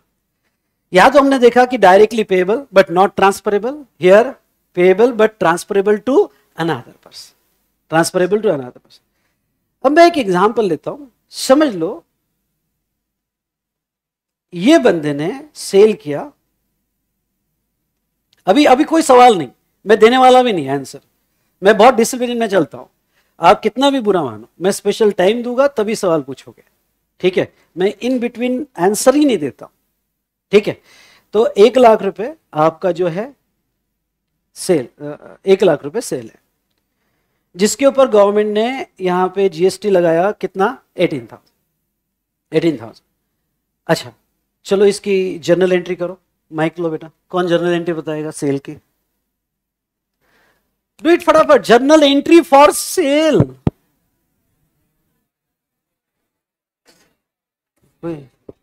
बता बेटा। Cash account debit one lakh eighteen cash या डेटर्स अकाउंट डेबिट हाँ। रुक जा। कैश बैंक हाँ। और डेटर हाँ। अकाउंट डेबिट डेबिट कितना? लाख एटीन थाउज़ेंड टोटल कितनी हुई? हमको कस्टमर से कितना लेना है? One lakh eighteen thousand to to sales हाँ? To sales one lakh to sales क्या? वन लाख वन लाख हाँ. अरे वन लाख कैसे? सर पहले सेल्स का मेरा बिल तो वन एटीन का बना। सर हम सेल्स एक लाख का बताएँगे और उसके बाद में आउटपुट सीजीएसटी और S very good to GST payable हाँ. या output GST payable nine percent CGST nine percent S G S T अभी तो पूरा ले लेते हैं। हाँ. कितना पूरा है? देन सब एग्री है? ऑनलाइन स्टूडेंट फटाफट कहो यस वाई टाइप करो फटाफट। तो यह सब एग्री है? तो ऐसे केस में यहाँ पे जीएसटी मतलब आउटपुट पेबल अच्छा अब तेरे को जीएसटी देना है तो इसका एंट्री क्योंकि तूने क्या किया? सेल्स नेट से रिकॉर्ड किया। एक मिनट सेल्स ग्रॉस से रिकॉर्ड हुआ या नेट से? नेट से। और बाकी जीएसटी पेबल निकाला। चलो अब मुझे ये बता कि जीएसटी पेबल पे, पे एंट्री कैसी होगी? गवर्नमेंट को देना है। ये तो अब तेरे को जीएसटी पेबल जो दिख रहा है क्रेडिट बैलेंस दिख रहा है। अरे यस और नो क्रेडिट बैलेंस दिख रहा है तो क्या आएगा second entry GST payable account debit ये गवर्नमेंट को दे रहे हैं टू बैंक और कैश ठीक है? कितना? Eighteen thousand eighteen thousand. इससे सर आप क्या समझाना चाहते हो? रुक जाओ। मेरा पढ़ाने का स्टाइल है कि जो चीज़ आपको पता है, वहाँ से मैं जीएसटी में लाऊं। ये चीज़ आपको पता है। ये सर नो चलो, अब यहाँ पे इनका trading and profit and loss account बनाते हैं। Trading and profit and loss account बनाते हैं। सेल्स कितने से बताएगा? हाँ? तो ये सेल्स हुई वन लैख से। डन जीएसटी तो पेबल था, जो ऊपर के ऊपर पे कर दिया आपने। अरे यस और नो उसका इंपैक्ट यहाँ नहीं होगा। डन अब भाई साहब, ये तेरी सेल्स है। क्या ये वन लाख पे तू जीएसटी गवर्नमेंट को दे चुका है? अरे यस और नो क्या ये वन लाख ने टैक्स बर्डन लिया हुआ है? यस और नो अब अगर तुमने इनकम टैक्स में पीजीबीपी पढ़ा होगा पढ़ा है कि नहीं पढ़ा। अब मुझे ये बताओ ये तुम्हारी सेल्स थी। सारे एक्सपेंसेस ट्रेडिंग के और प्रॉफिट एंड लॉस अकाउंट होने के बाद आपका नेट प्रॉफिट बचा। कितना नेट प्रॉफिट बचा? समझ लो twenty thousand net profit from the business ये बताओ ट्वेंटी थाउज़ेंड पे और कोई टैक्स लगता है? कौन सा टैक्स लगता है? It's a profit from business हाँ? तो इसके ऊपर लगता है कौन सा? इनकम टैक्स इसके ऊपर लगता है क्या? इनकम टैक्स तो आपको ऐसा नहीं लग रहा है कि जो एक लाख पे मैं गवर्नमेंट को इनडायरेक्ट टैक्स दे चुका था, कितना दे चुका था? एटीन थाउज़ेंड उसी एक लाख रुपए का प्रॉफिट बचा है। समझ में आएगा उसी एक लाख रुपए का प्रॉफिट उस प्रॉफिट पे भी गवर्नमेंट टैक्स ले रही है मतलब ये तो डबल टैक्सेशन हो गया, भाई साहब। कौन ये फेवर में है कि डबल टैक्सेशन कोई नहीं। कौन ये फेवर में कि नहीं सर दो अलग अलग है? दो अलग अलग है? दी दी दी उसको दे। हाँ। दो अलग है कैसे? सर ये तो ये ये जो है तो ये तो बिजनेसमैन पे करेगा और वो जो है अपन ने जो है ना कस्टमर से वसूल कर लिया था इनडायरेक्ट वाला। मतलब तेरा ये कहना है ये तो सर डबल कहाँ पे हुआ? ये तो हमने कस्टमर से ले लिया। हाँ। अरे आया ना? हाँ। ओके और ये तो क्या है? ये तो हमारी इनकम से जा रहा है। ठीक है ना भाई? मैं तेरे को ये मान क्या नाम है? नयन। नयन। मुझे ये बता कि भाई वो हमने दिया हो या कस्टमर ने दिया हो ये वन लाख अमाउंट तो टैक्स बर्डन ले चुकी थी। नहीं समझा वो हमने दिया हो या कस्टमर ने दिया पर that one lakh amount borne the burden of tax is it clear and out of that one lakh क्या बचा? Profit you are also charging tax on that in the name of क्या income tax तो ये ठीक है burden किसने लिया वो छोड़ो। पर एक अमाउंट में दो टैक्स गवर्नमेंट ले रही है। ये समझ में आया क्या? तो सर ये तो लूट रही है गवर्नमेंट इधर भी टैक्स इधर भी टैक्स ये समझा क्या? भाई साहब, ऐसा नहीं है। दोनों का ऑब्जेक्ट टोटली अलग है। ओके इनडायरेक्ट टैक्स का ऑब्जेक्ट जो है, ये अलग है, और इनकम टैक्स का ऑब्जेक्ट ये जो है वो अलग है। अलग है। क्यों सर अलग है? ओके ये एक एग्ज़ाम्पल से आपको मैं बताना चाहूँगा। और वो एग्ज़ाम्पल ये है कि मैं यहाँ पे सबसे पहले ओरिजिनल ओरिजिनल पिक्चर में आया indirect tax I repeat original picture में आया इनडायरेक्ट टैक्स और इनडायरेक्ट टैक्स कैसे आया? क्या था ऐसा कि इनकम टैक्स तो बहुत बाद में आया। इनडायरेक्ट टैक्स पहले पिक्चर में आया। जैसे एक एग्ज़ाम्पल लेते हैं यहाँ पे। समझ लो ये एग्ज़ाम्पल जो आपके नोट्स में दिया है। Mister Veeru a merchant of food grain he want to do business in the kingdom of the king Gabbar Singh he bo- uh, brought 1000 bags from his village. कितना लाया उसने? यहाँ लिख दो 1000 bags ठीक है। Village for the business of costing one lakh he has given hundred bags to king Gabbar Singh as a gift hundred bags इसको दिया okay as a cue for having permission to do business in his kingdom समझ में आया he started his business in the kingdom of Gabbar Singh what the price he will charge to customer and if you want to earn a profit of ten percent अब थोड़ा इसका background समझ लो ये बहुत पुराने जमाने से ऐसा होता था कि कोई भी जब सिस्टम ऑफ़ मोनार्की थी और कोई बिजनेसमैन इस किंगडम में बिज़नेस करने आता था तो उस राजा को कुछ गिफ्ट देता था। ये समझ आया? As a gratitude so that east India company ऐसी हुआ। अरे आया ना, वो गिफ्ट देता था ओके और वो जो गिफ्ट देने के बाद उसका किंग जो है उसे परमिशन देता था कि हाँ तू मेरे एरिया में अब बिज़नेस कर सकता है। तो मुझे बताओ, इसने हंड्रेड बैग जो गिफ्ट दी, वो क्या इनकम से दिया या बिज़नेस करने का एक अमाउंट दिया? बिज़नेस करने का एक अमाउंट दिया। समझ लो, ये वन थाउज़ेंड बैग की कॉस्टिंग थी। कितनी कॉस्टिंग थी? यहाँ पे one lakh one lakh costing थी। अब उसमें से हंड्रेड बैग्स फ्री दे दिया। किंग को। बची कितने? नाइन हंड्रेड तो ये हंड्रेड बैग जो फ्री गई, इसकी कॉस्ट वो कैसे रिकवर करेगा? इसकी कॉस्ट कैसे रिकवर करेगा? अगर एक बेस लेके चले, बहुत ही बेसिक एग्जांपल ले रहा हूँ। बेस लेके चले तो यहाँ पे ओके okay, अगर हम costing of original costing of 900 bags तो 900 बैग्स की ओरिजिनल कॉस्टिंग कितनी थी थी 90,000 अरे है ना 90,000 ओरिजिनल कॉस्टिंग थी। लेकिन उसने जो किंग को 100 बैग्स फ्री दिया for to do this business अरे आया ना टू डू दिस बिज़नेस तो क्या वो कॉस्ट भी ये 900 बैग्स पे अलोकेट करेगा? अरे यस और नो कॉस्टिंग की इतना प्रिंसिपल तो पता है। तो मतलब वो 100 बैग्स की कॉस्ट ऑफ़ 100 बैग्स इस पर अलोकेट करेगा। कितना? 10,000 ओके तो ये टोटल 900 बैग्स की कितनी प्राइस हो जाएगी? वन लाख। अरे आया ना। और उसका प्रॉफिट टेन परसेंट उसका प्रॉफिट टेन परसेंट मतलब कितना हुआ? 10,000 तो वो कस्टमर से कितना लेगा? ओके एक लाख दस हज़ार। कोई भी प्रूडेंट बिजनेसमैन ऐसा ही करेगा जो उसको बिज़नेस के लिए टैक्स लग रहा है वो कॉस्ट में ऐड कर देगा। तो ये जो तूने डिफरेंस बताया कि इनडायरेक्ट टैक्स इज़ ट्रांसफरेबल ये जब से बिज़नेस स्टार्ट हुआ, तब से ये नेचर है। कि जो उसको टैक्स लगा, वो प्राइस में ट्रांसफरेबल टू द बायर अरे यस और no transferable to the buyer because this tax is related to business I hope you understood तो ये इनरेंट नेचर है। कि वो जो भी कॉस्ट लगी बिज़नेस की, वो कॉस्ट में ऐड करके transfer health it is transferable from one person to another I hope you understood तो ये ऐसा नहीं हुआ कि किसी ने मेडिटेशन में बैठी आके खोल दी और आज से क्या लगा दो? इनडायरेक्ट ऐसा नहीं हुआ। ये बिज़नेस का नेचर में ही डेवलप हो गया। बस आज हम क्या करते हैं कि जो गवर्नमेंट को दिया, उसको टैक्स अमाउंट से अलग बताते हैं। उसको क्या टैक्स अमाउंट से अलग बता पहले ये प्राइस में ऐड होता था।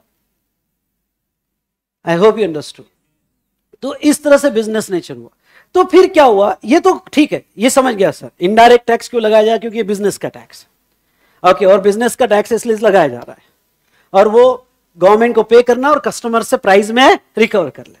यहाँ तक सबको क्लियर सभी को क्लियर होगा तो जो भी यहाँ पे यूट्यूब पे सॉफ्टवेयर में सॉफ्टवेयर में भी अच्छे खासे स्टूडेंट कनेक्टेड है। तो वन टाइप करो फटाफट। यहाँ तक समझा होगा तो। डन ओके तो चलिए, अब आगे बढ़ते हैं। सर फिर व्हाट अबाउट दिस क्योंकि ये एक लाख पे अगर बर्डन आ चुका है तो उसी एक लाख से ट्वेंटी थाउज़ेंड का प्रॉफिट बचा है। उस पर इनकम टैक्स लगाना तो गलत बात हो गई। अब मैं आपको थोड़ा यहाँ पे हिस्ट्री बताता हूँ। पुराने जब बिज़नेस इनकम टैक्स क्यों डेवलप हुआ? और ये डेवलप होके बहुत फ़ेमस भी हुआ। अब क्या होता था? पुराने जमाने में अगर आप 700 साल 800 साल 800 साल पीछे जाए तो बिजनेसमैन क्या करता था? सेल हुआ तो उसको क्या लगता था? टैक्स वो टैक्स किससे कस्टमर कवर करता था? कस्टमर से। उसके ऊपर तो बर्डन आ ही नहीं रहा। अरे यस और नो तो उसका जो प्रॉफिट आ रहा है ओके उसकी तिजोरी भरते जा रही है। अरे है ना? एक्यूमुलेट होती जा रही है। और गवर्नमेंट जब टैक्स लगा रही है तो बर्डन पास हो। यहाँ तक समझा? ये बर्डन पास ऑन तो जब कुछ किंग के ध्यान में आया कि ये जो बिजनेसमैन हैं ओके जिन्हें पहले वैश्य कहा जाता था, कुछ याद है आपको? नहीं पता होगा तो बिजनेसमैन ओके जो ये यार क्या कर रहे हैं प्रॉफिट जमा करते जा रहे हैं, अपनी तिजोरी भरते जा रहे हैं, और टैक्स लग रहा है तो बर्डन पास ऑन पब्लिक पे ला रहे हैं।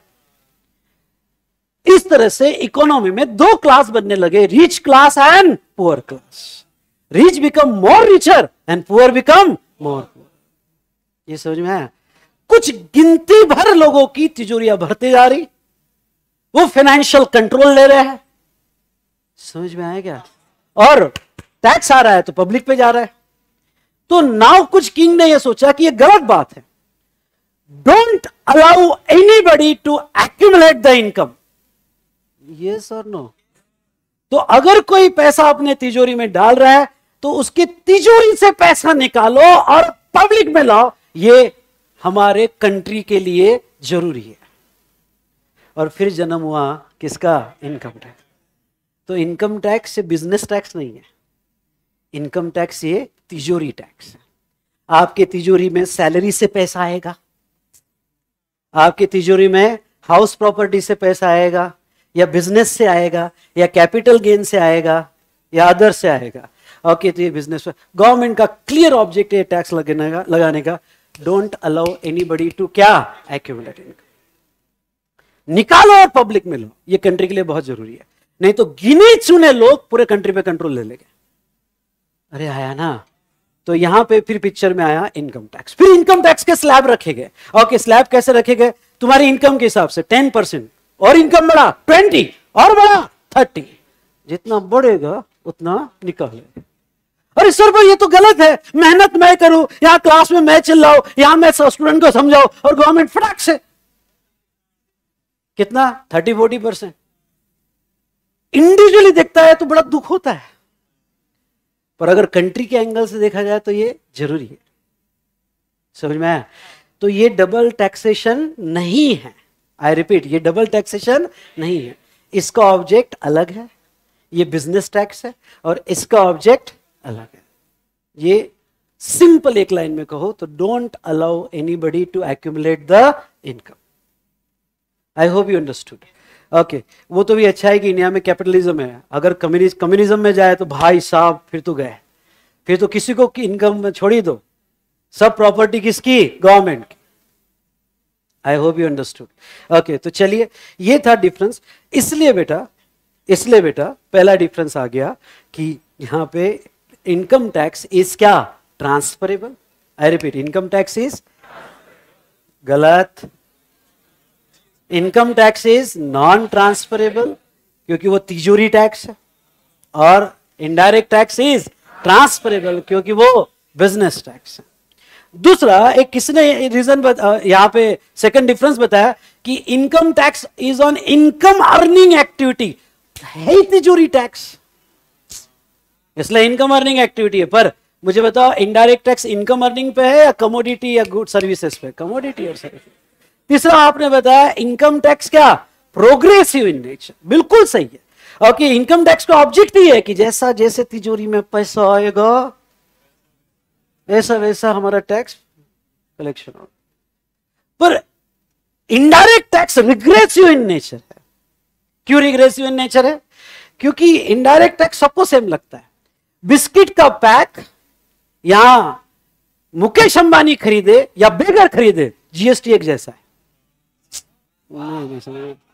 ये समझ में या अदानी खरीदे या बेगर खरीदे जीएसटी एक जैसा। उतना ही बर्डन है। कार वो खरीदे या बेगर खरीदे? बॉम्बे के बेगर खरीदते अरे है ना। एक जैसा है। आई होप यू अंडरस्टूड तो इससे क्या तैयार होता है? रिग्रेशन कि ये क्या यार? रिच क्लास भी उतना ही टैक्स दे रहा है। और बेगर भी उतना ही टैक्स दे रहा है। अरे है ना, अब बेगर के नीचे वाला तो कोई एग्ज़ाम्पल है ही नहीं। ये समझ में आया क्या? बेगर भी उतना ही टैक्स दे रहा है। तो एक रिग्रेशन तैयार होता है गलत है। अब कुछ कंट्री में सिंगल रेट जीएसटी चलता है। हाँ मेरी बात सुनना। कुछ कंट्री में क्या? सिंगल रेट जीएसटी चलता है। मतलब कोई भी गुड्स हो ट्वेल्व परसेंट वो कंट्री में रिग्रेशन ज़्यादा होता है। क्योंकि वहाँ के पब्लिक बोलती है कि भाई वो रिच क्लास वाला भी ट्वेल्व दे रहा है, मैं भी ट्वेल्व दे रहा हूँ, ये तो गलत है। भाई मेरी पेट्रोल मुझे तो दो रुपए पेट्रोल की प्राइस बढ़ जाए तो अफेक्ट हो जाता है। वो कार वाले को समझ में भी नहीं आता है। अरे हाँ या ना? तो वो उसका अपोज करना शुरू कर देते हैं। पर इंडिया में इस रिग्रेशन को थोड़ा मैनेज किया हुआ है। कैसे मैनेज किया है? हमने रेट सिंगल नहीं रखे। हमने ब्रॉड सेंस में फोर रेट रखे, बताओ कौन से फोर रेट रखे? Five percent twelve percent eighteen percent twenty eight percent बहुत अच्छा मैनेज किया हमने इस रिग्रेशन होने वाले रिग्रेशन को। है रिग्रेशन ही, पर मैनेज रिग्रेशन है। तो ऐसे केस में क्या होता है? अब अब कॉमन सेंस से बताओ पाँच परसेंट रेट किसका होना चाहिए? अब कॉमन सेंस से बताओ फाइव परसेंट रेट किसका होना चाहिए? जो बेसिक नेसेसिटी है यार। बहुत सी बेसिक नेसेसिटी तो एग्ज़ाम है। एग्ज़ाम मतलब ज़ीरो रेट पर बहुत सारे बेसिक गुड्स जो है वो पाँच परसेंट पे। इसमें गवर्नमेंट लोगों को क्या दिलासा दे रही है कि देखो फाइव परसेंट बेसिक गुड्स पे लगाया है। अब बेगर कार खरीदने जाएगा तो बात अलग है, पर बिस्किट खरीदेगा तो हम पाँच परसेंट देंगे। फिर वो रिच भी उतने ही देगा, पर ये हमने तुम्हारे हिसाब से पाँच रखा है। अरे हाया ना? इनकम टैक्स में ऐसा नहीं। इनकम टैक्स में मुकेश अंबानी अलग टैक्स देता है। बेगर शायद देता भी नहीं होगा।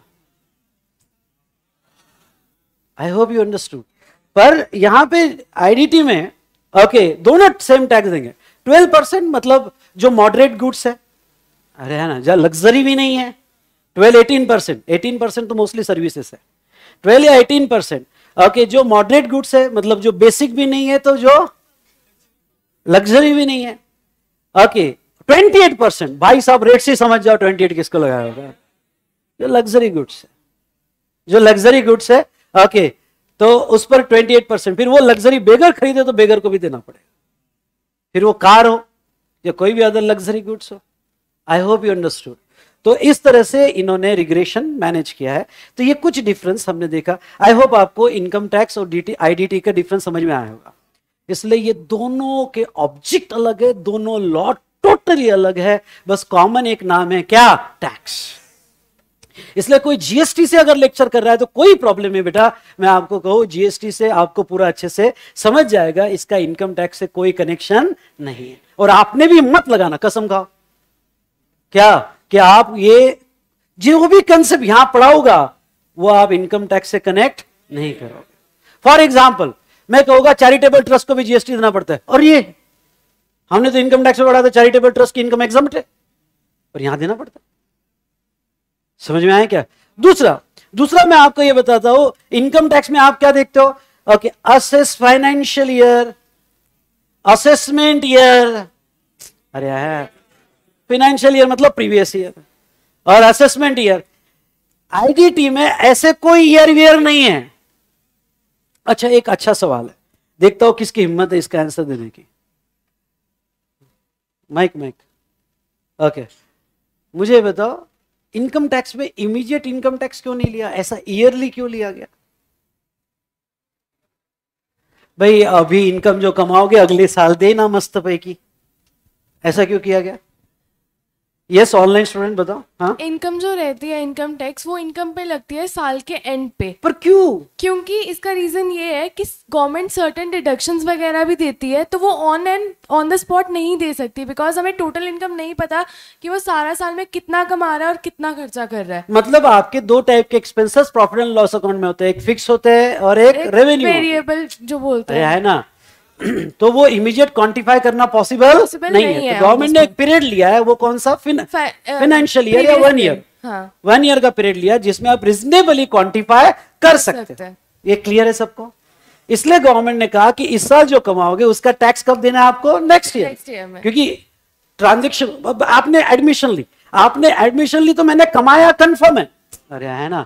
पर वो क्वांटिफाई करना पॉसिबल नहीं है immediate I hope you understood तो उसको एक पीरियड लिया वन ईयर और वन ईयर में आप अपना प्रॉफिट एंड लॉस अकाउंट बनाओ। ओके आप अपना बैलेंस शीट बनाओ और हमें इनकम निकाल के दो। इसलिए वो एक करंट ईयर की इनकम का टैक्स आपको नेक्स्ट असेसमेंट ईयर जो ईयर में वो टैक्स आप क्या करोगे? असेस करोगे। लिया गया। अब मैं आपका नाम? शैलजा। शैलजा। शैजा शैलजा। शहनजा ओके तो अब मैं आपसे एक सवाल पूछूँगा। Okay please please please okay तो यहाँ पे मुझे ये बताओ समझ लो वी स्मार्ट एकेडमी आपने क्लास लिया। ठीक है? वी स्मार्ट में आपने क्लास लिया। और, और आप एडमिशन लेने आ रहे हो। अब एडमिशन लेते वक्त मैंने कहा फ़ीस आपकी ten thousand ten thousand current year में। लेकिन यही प्रिंसिपल मैं इनडायरेक्ट टैक्स में लगाऊ। किसमें? इनडायरेक्ट और मैंने कहा कि बेटा फ़ीस जो है आप जीएसटी जो है ये फ़ीस तो अभी दे दो इसका जीएसटी आप ये तो करंट ईयर है आप असेसमेंट ईयर में हो नेक्स्ट ईयर में मस्त की। और जीएसटी जो है यहाँ पे कितना? 1800 आप नेक्स्ट ईयर में दो। तो आपने कहा अच्छा सर नेक्स्ट ईयर में हम कंफर्म देंगे क्लास हो गया सब कुछ हो गया अब नेक्स्ट ईयर जब कॉल आया मैं नहीं जानती नेक्स्ट ईयर आपको। हाँ। मैं नहीं जानती आपको। तो नेक्स्ट ईयर कॉल आया तो बस यही आंसर हेलो कौन? अरे वो आपका GST hello hello wrong number अरे समझ में आया क्या? भाई साहब, अगर इनडायरेक्ट टैक्स में अरसा कोई करते रहे कि अभी गुड्स लेके जा, अभी सर्विस लेके जा और नेक्स्ट ईयर में आना जीएसटी देने। प्रैक्टिकली पॉसिबल नहीं है। यहाँ तो टैक्स जो लगता है अभी के बीच अरे sir but no but shut only cut to cut अरे समझा नहीं समझा? अभी के अभी अरे सर बट अभी क्या बीच तो जीएसटी ट्रांजेक्शन बेस्ड टैक्स है। No previous year and no current year ज़ोर से बोलो अभी के अभी क्योंकि बाद में तू आने वाला नहीं है। समझ में आया? तो यहाँ कोई असेसमेंट ईयर नहीं आएगा, यहाँ पे कोई प्रीवियस ईयर हाँ लेकिन ये बात है कि गवर्नमेंट ने एक फैसिलिटी दी है कि आप असेस तो इमीडिएट करो ट्रांजेक्शन पे, लेकिन गवर्नमेंट को पे करने के लिए आप पूरा मंथ लो।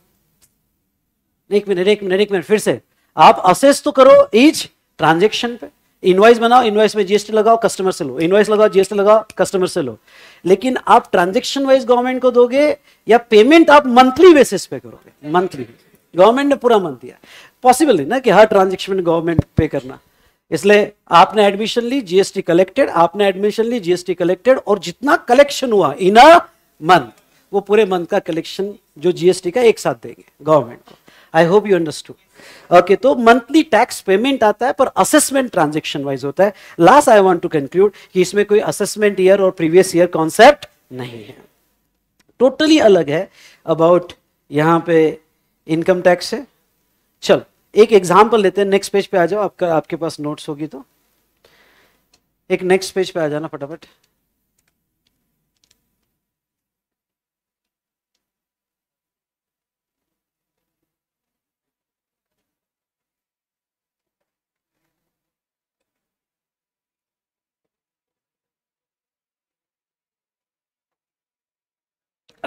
अभी आपके पास नोटबुक नहीं होगी तो जो भी है, उसमें सॉल्व कर लो, बाद में तो हमारे एग्ज़ाम्पल या प्रैक्टिस क्वेश्चन की नोटबुक रहेगी। फिर से बता दूँ नोटबुक एक चार्ट की रहेगी जो हंड्रेड पेजेस की होगी तो भी चलेगा।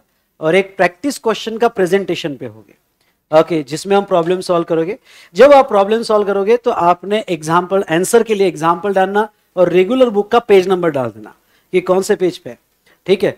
कोशिश करना कि क्रॉस पेज नंबर यूज़ करो। क्रॉस पेज नंबर मतलब ये एग्ज़ाम्पल टू जो मैंने नोट्स में दिया है वो रजिस्टर में जो आपका नोटबुक है, उसको भी नंबर दो। कौन से पेज पर है और वहाँ का इधर कौन से पेज पे है, ऐसा क्रॉस नंबर यूज़ करो। ठीक है? तो चलिए, अभी तो लिख लो एग्ज़ाम्पल टू एग्ज़ाम्पल टू क्या है?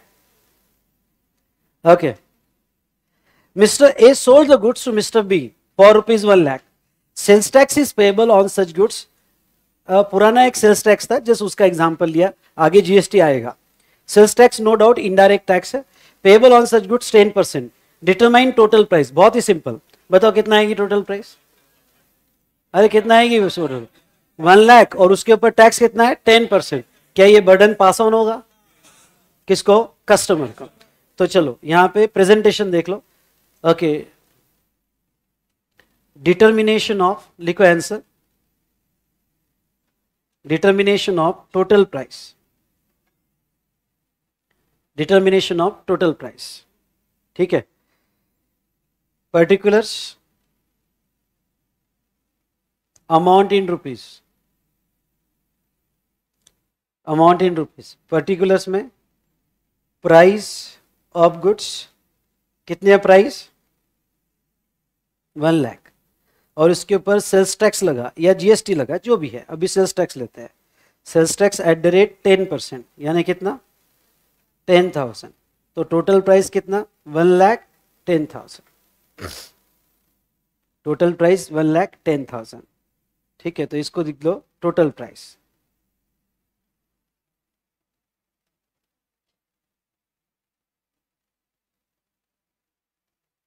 total price charge ठीक है, कुछ नहीं, ये प्रॉब्लम में कुछ भी नहीं है, जैसे जनरल प्रैक्टिस क्वेश्चन लिया। इसमें बस ये समझाना चाहता हूँ कि ये सेपरेटली चार्ज होता है और कस्टमर को बर्डन पास ऑन हो जाता है। चलो, नीचे एक डायग्राम दी है। ये डायग्राम लेते हैं। मैन्युफैक्चरर से गुड्स आपका अल्टीमेट कस्टमर तक आ रहा है। अब tax at multiple stage okay ये टैक्स एट मल्टीपल स्टेज क्या है? चलो, एक कोई मोबाइल है। मोबाइल पहले मैन्युफैक्चरर से होलसेलर को जा रहा है होलसेलर से सॉरी डिस्ट्रीब्यूटर को जा रहा है। डिस्ट्रीब्यूटर से होलसेलर होलसेलर से रिटेलर रिटेलर से अल्टीमेट कंज्यूमर ठीक है तो चलो, यहाँ प्राइस लेते हैं। जस्ट मिनट हाँ यहाँ पे मैन्युफैक्चरर होलसेल डिस्ट्रीब्यूटर को बेच रहा है तो सेल प्राइस और सेल प्राइस समझ लो वन लाख है मोबाइल की। और अभी इतना समझना कि जीएसटी नहीं आया, पुराने टैक्स है। आई रिपीट अभी इतना समझना कि जीएसटी नहीं आया, पुराने टैक्स है। तो पुराना सेल्स टैक्स लगता था, जिसे आप वैट कहते हो, और एट द रेट पुराना tax at the rate ten percent में अज्यूम करता हो। तो कितना हुआ बेटा? हाँ एक लाख दस हज़ार। ये बेचा, ये सेल किया और एक लाख दस हज़ार यहाँ पे। ये सेल हुआ, ठीक है? अब देखो, यहाँ पे, अब वन लाख टेन थाउज़ेंड में इसने परचेस किया। इसका वैल्यू एडिशन लिख लो, इसका वैल्यू एडिशन आगे डिस्ट्रीब्यूटर का वैल्यू एडिशन मैं स्पेसिफिक ये वर्ड यूज़ कर रहा हूँ। इसका वैल्यू एडिशन यहाँ पे टेन थाउज़ेंड है। वो दस हज़ार रुपये उसमें वैल्यू ऐड कर रहा है। वैल्यू ऐड कर रहा है मतलब क्या? थोड़ा सुनना। उसको भी बिज़नेस करने के खर्चे लगे हो गए उसका भी प्रॉफिट है। तो वैल्यू एडिशन मतलब उसका एक्सपेंसेस प्लस उसका प्रॉफिट उसने उतना ऐड कर दिया। अरे यस ना I repeat I repeat value addition मतलब एक्सपेंसेस प्लस प्रॉफिट तो अब बताओ वो आगे डिस्ट्रीब्यूटर को कितने में बेचेगा? उसकी परचेस कितने में परचेस कितने वन लैख टेन उसके ऊपर उसने ऐड कितना किया? टेन थाउज़ेंड तो what should be the sale price हाँ? वन लैख ट्वेंटी थाउज़ेंड अब डिस्ट्रीब्यूटर ने होलसेलर को सेल किया. तो डिस्ट्रीब्यूटर ने होलसेलर को सेल किया तो ऐसे सिचुएशन में फिर से क्या लगेगा? क्योंकि sales tax sales tax ten percent यानी कितना हुआ? ट्वेल्व थाउज़ेंड यानी ये कितना होगा? वन फोर्टी टू टोटल हुई. सॉरी वन थर्टी टू ये टोटल हुई। ठीक है? सर क्या ऐसा टैक्स मल्टीपल स्टेज पे लगता है? जब जब भी आप सेल करोगे आई रिपीट क्या कहा मैंने? जब जब भी आप सेल करोगे टैक्स लगेगा। I hope you understood okay इसको ही कहते हैं multiple stage tax I repeat the word क्या? मल्टीपल स्टेज टैक्स ओके तो ये तो मुझे बताओ होलसेलर ने कितने में खरीदा? कितना खरीदा? वन थर्टी इसका वैल्यू एडिशन इसका वैल्यू एडिशन एटीन थाउज़ेंड है होलसेलर का। वैल्यू एडिशन में उसका एक्सपेंसेस प्लस प्रॉफिट दोनों आ गए। ठीक है?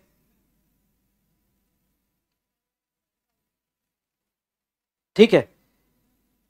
तो ये अगर होलसेलर है, और इसमें यहाँ पे तो ऐसे सिचुएशन में वैल्यू एडिशन जो है हाँ जो स्टूडेंट को अभी तक नोट्स नहीं मिली होगी डोंट वरी जो भी मैं लिखूँगा, इसका पीडीएफ आपके साथ शेयर कर दूँगा। आप जब भी नोट्स मिल जाएगी, तब कॉपी कर लेना। ठीक है? मैं ग्रुप में भी शेयर कर दूँगा और आपके लॉगिन में भी शेयर कर दूँगा, जो भी लिखा हुआ है, उसकी नोट्स तो value addition value addition eighteen thousand तो ये स्पेशली पहले दो चैप्टर की जब तक आपको नोट्स नहीं मिलती है। तो ये अब बताओ, ये होलसेलर रिटेलर को सेल कर रहा है तो क्या सेल प्राइस हाँ? वन लैख फिफ्टी थाउज़ेंड ये जो सेल हुआ, और इसमें वापस से सेल्स टैक्स लगेगा? At the rate ten percent कितना हुआ? फिफ्टीन थाउज़ेंड तो वन सिक्सटी फाइव ये रिटेलर की परचेस प्राइस हुई। और रिटेलर अब वैल्यू एडिशन कर रहा है। वैल्यू एडिशन कर रहा है। और कितने, समझ लो इसका वैल्यू एडिशन आगे फिफ्टीन थाउज़ेंड है। कितना बेटा?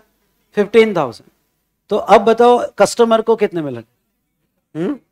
तो सेल प्राइस कस्टमर को I and one lakh eighty thousand. जिसके ऊपर क्या लगेगा फिर से? Sorry sales tax sales tax अभी हम पुराना नाम यूज़ कर रहे हैं। एट द रेट कितना? टेन परसेंट यानी कितना हुआ बेटा ये? Eighteen thousand. तो total price one lakh ninety eight thousand में आपको ये मोबाइल मिल रहा है। अरे ये सर नो अब ये सैमसंग फोल्ड ले लो। अरे है ना? One lakh ninety eight thousand में ये जो है मिल रहा है। आपने क्या देखा ये पूरे चेन में? मैं मेरे लिए वो इंपॉर्टेंट है। ये मैंने पढ़ा है मेरे लिए बिल्कुल इंपॉर्टेंट नहीं है। एक मिनट माइक देना। ओके माइक दे। क्या देखा ये example there is a cascading effect which is tax on tax मतलब टैक्स के ऊपर टैक्स लग रहा है। एक्सप्लेन करोगे? सर कैस्केडिंग एक नया वर्ड आया। कौन सा वर्ड आया? Cascading effect cascading effect cascading ठीक है? Cascading effect tax on tax मतलब टैक्स ऑन टैक्स क्या इसका मतलब क्या? सर जैसे कि जब मैन्युफैक्चरर ने सेल करा था तो ऑलरेडी टेन परसेंट टैक्स लगा चुके थे. मतलब कहने से इसके परचेस में 110 जो हमने लिया ठीक है इसमें टैक्स इंक्लूडेड है? और जब हमने प्राइस फिक्स की 120 तो ये 120 में 10 भी इंक्लूडेड है. और उसके ऊपर फिर से टैक्स लगा है. इसको कहते हैं tax on tax cascading effect अरे ये सर नो बहुत अच्छा आइडेंटिफाई किया आपने कैस्केडिंग इफ़ेक्ट सेम यहाँ पे हो रहा है। ये यहाँ पे क्यों हो रहा है? क्योंकि इसके 150 में आई रिपीट इसके 150 में ये 10 भी है और ये 12 भी है। अरे यस और नो और जब तो लास्ट कस्टमर देखा जाए तो इसके 180 में क्या है है क्या? ये 180 में वो 10 भी है 12 भी है और 15 भी है। ये सबको समझा? ये तो जितने हैंड्स चेंज कर रहा है, उतना कैस्केडिंग हो रहा है। इसको कहते हैं हम tax on tax cascading effect तो भाई साहब जीएसटी आने के पहले सर ऐसा चलता था। आगे आगे देखो, होता है। ठीक है, ऐसा, दूसरा, और क्या किसी ने नोट किया?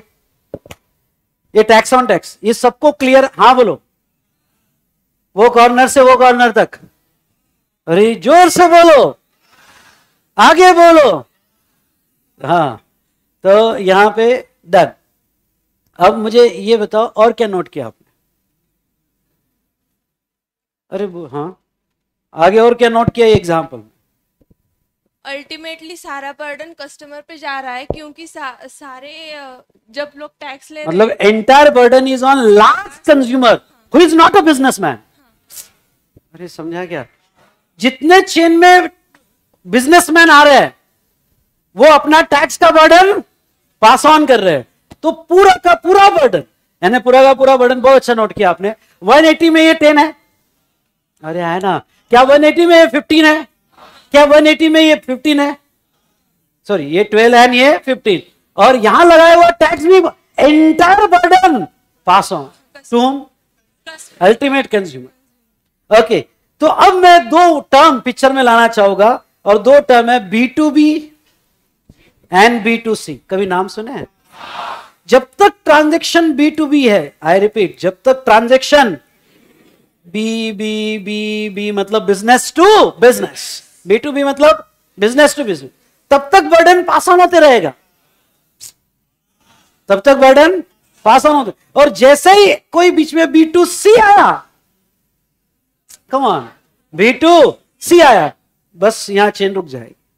An entire burden pass on yes और no I hope you understood तो बी केयरफुल ये दो वर्ड बार बार आने वाले हैं। कौन से दो word B to B and B to C तो इस तरह से मैंने पूरे चेन में दो दो बातें थी। कैस्कैनिंग इफ़ेक्ट और entire burden pass on to home to ultimate consumer done done done done okay तो चलिए। अब यहाँ पे इसके आगे।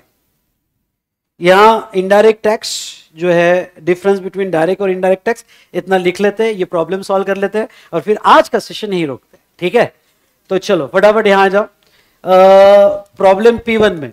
सॉल्व करना है, फिर से बता दूँ, जब भी पी वन प्रैक्टिस क्वेश्चन या एग्ज़ाम्पल हो गए, जिसका आंसर लिखना है, उसके लिए 200 पेजेस का नोटबुक और यहाँ चार्ट के लिए हंड्रेड पेजेस का नोटबुक साथ में रखो। यस और नो चलिए।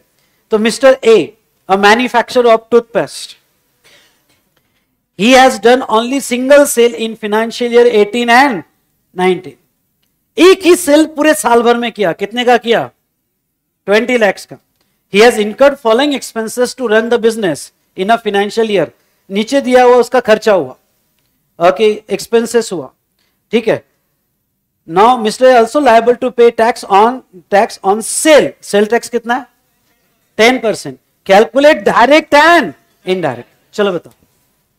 अच्छा मुझे बताओ। डायरेक्ट टैक्स यानी इनकम टैक्स कितने पे आएगा? ट्वेंटी पे या ट्वेंटी माइनस एक्सपेंसेस क्योंकि इनकम टैक्स प्रॉफिट पे आता है। है ना? Be careful income tax profit पे आता है। तो वहाँ हर हम एक्सपेंसेस लिखते हैं। डिडक्ट करते हैं। प्रॉफिट निकालते हैं। तो एक मिनट कुछ आंसर कैसे लिखना मैं बताऊँगा।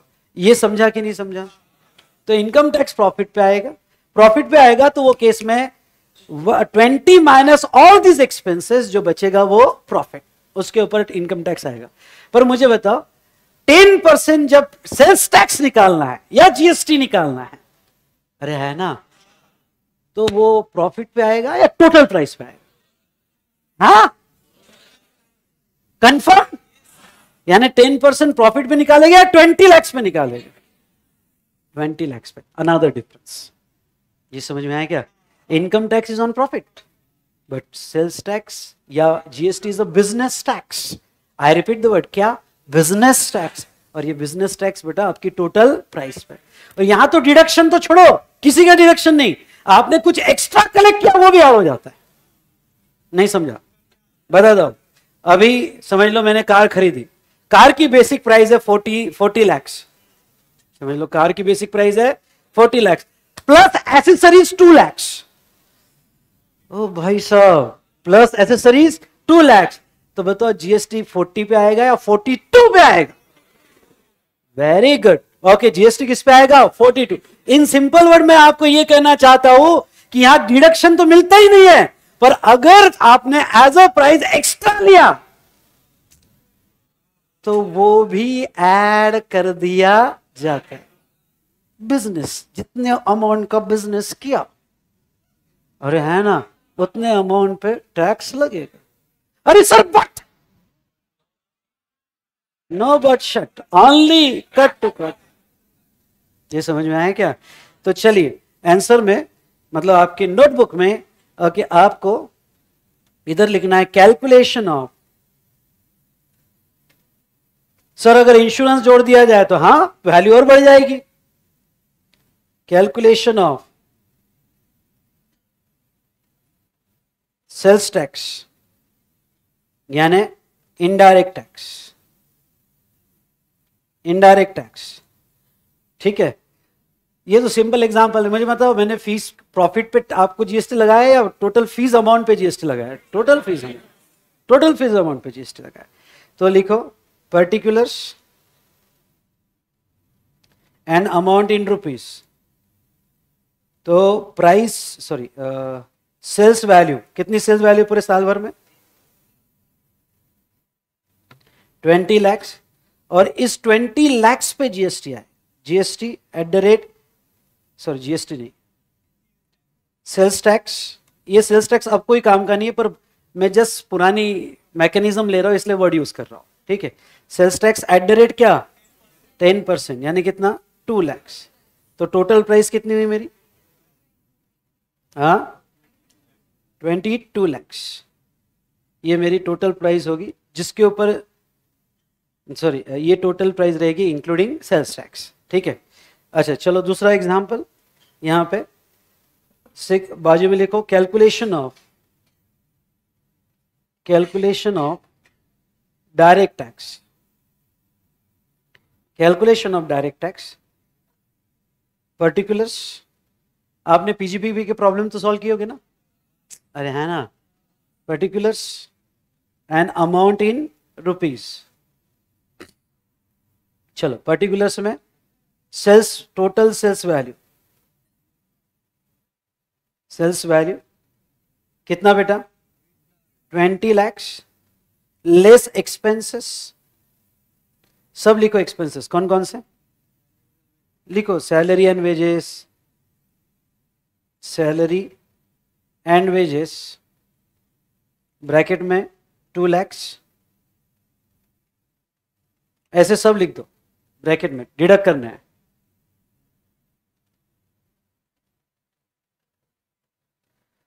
अरे बेटा, मानस, किसी का डिडक्शन नहीं मिलेगा। No salary nothing nothing total price पे यहाँ बिज़नेस टैक्स आता है। कितना आ रहा है आपका profit net profit net profit 11 lakhs चलो स्लैब लगा के इसका इनकम टैक्स निकाल। लो स्लैब आपको पता है। जिसका इनकम टैक्स नहीं हुआ तो मैं जो लिख रहा हूँ अभी लिख लो। इसके आगे कसम खाता हूँ इनकम टैक्स का नाम भी नहीं लूँगा। अरे है ना? तो यहाँ पे यस कितना आ रहा है? स्लैब लगा के। 142 500 क्लियर यस और नो 142 500 अब सही आता है तो ठीक, नहीं तो जो लिखना लिख देना। ओके ये स्लैब लगाकर इनकम टैक्स 122 200 की 500 इंक्लूडिंग एजुकेशन सेस ये स्लैब है। इस पे फिर आपका एजुकेशन सेस भी लगेगा ना। हाँ वो भी लगाना पड़ेगा ना higher and secondary education cess वगैरह, जो भी सेस है वो लगा दो। एक्सपेंसेस ऊपर से अच्छा ये एक्सपेंसेस लिख लो बेटा electricity charges printing stationery other expenses bank charges लिख लो वहाँ पे, फटाफट, ये देखकर।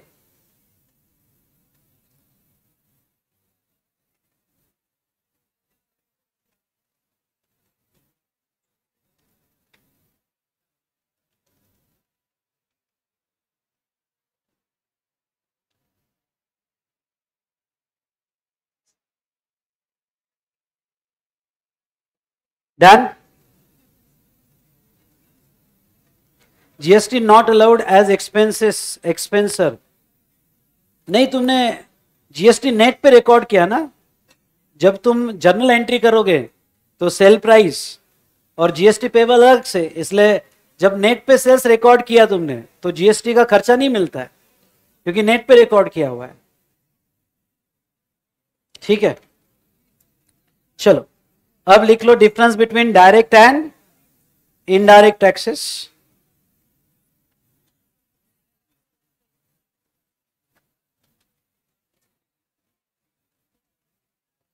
चलो ये लास्ट डिस्कशन लिख लो।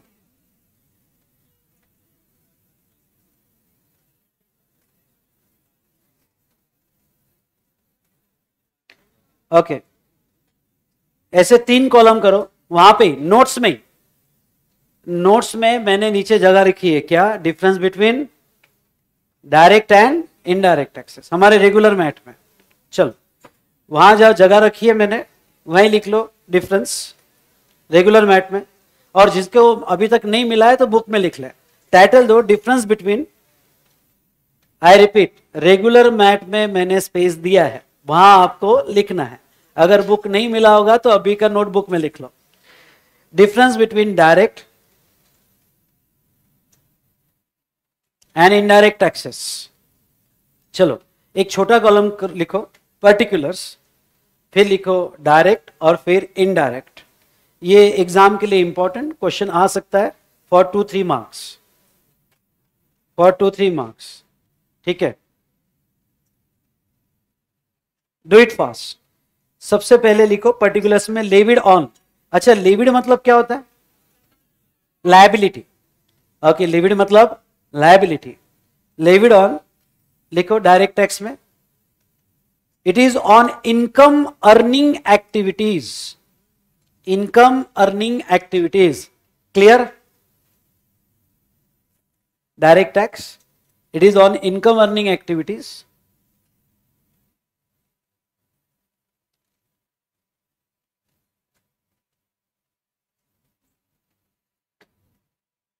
तो indirect tax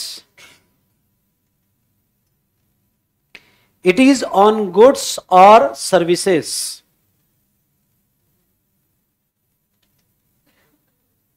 फास्ट स्पीड बढ़ाओ.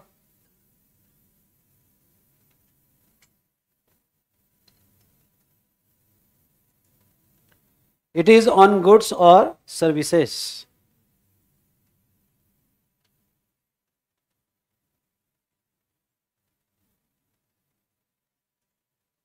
ठीक है? ये डिफरेंस क्लियर है सभी को? अरे यस और नो दूसरा burden of tax burden of tax अच्छा डायरेक्ट टैक्स का burden borne by person directly अरे है ना?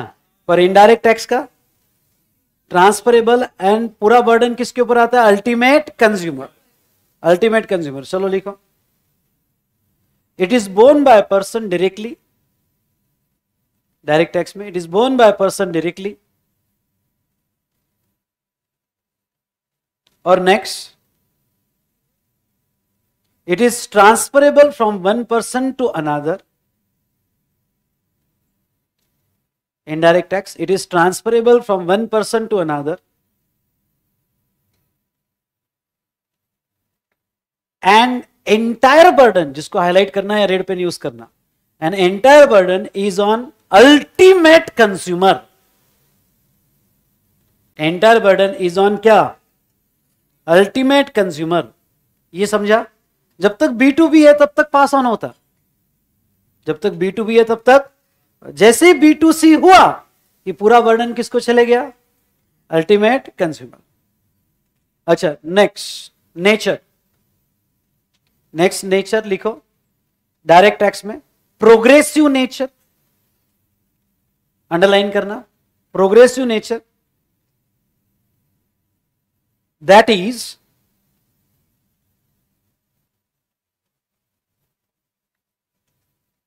progressive nature that is high rate of taxes high rate of taxes for the people high rate of taxes for the people with higher income with higher income indirect tax में लिखो regressive in nature regressive nature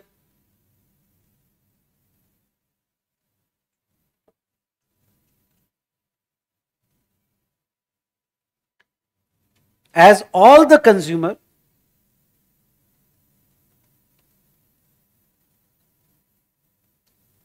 as all the consumer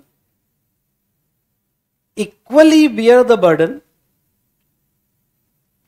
ये word important है equally bear the burden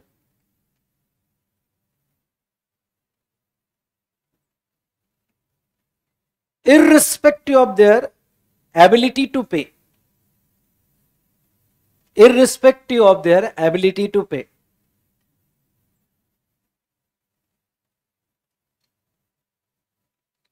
Next. When it is paid. Next आएगा fourth number पे. When it is paid अच्छा income tax एक बार फिर से, मेरे से कनेक्ट हो, दो मिनट इनकम टैक्स इमीडिएट होता है या असेसमेंट ईयर असेसमेंट ईयर में. मतलब पहले इनकम जेब में आती है, बाद में पे होता है. तो लिखो.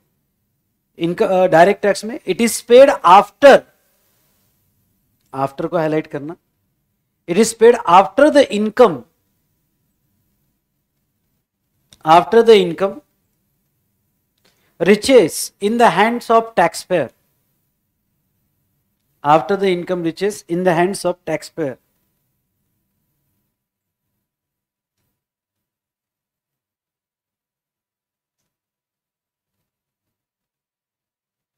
of of taxpayer. अच्छा इनडायरेक्ट टैक्स में मुझे बताओ सेलर को पैसा कब मिलता है? तुम्हारे को गुड्स देने के बाद मिलता है या पहले ही मिल जाता है? पहले तो वो बिल का पैसा लेता है, कोई काउंटर पे जाओ, पहले बिल का पैसा लेता है, बाद में गुड्स देता है। अरे है ना? तो देखो it is paid before goods and services reaches it is paid before goods and services reaches the tax which is the taxpayer.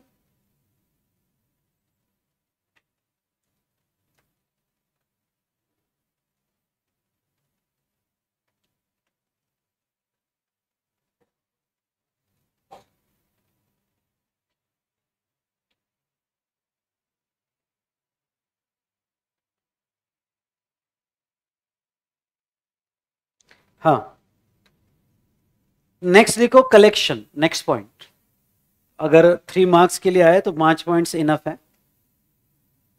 Collection हाँ ये पहले लिख लो, फिर एक्सप्लेन करता हूँ। The tax collection direct tax में लिखना। Tax tax collection is difficult difficult. As it is on yearly basis. As it is on yearly basis.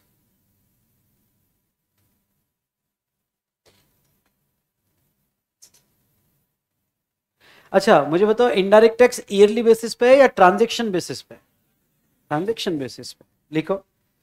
Tax collection is relatively easier easier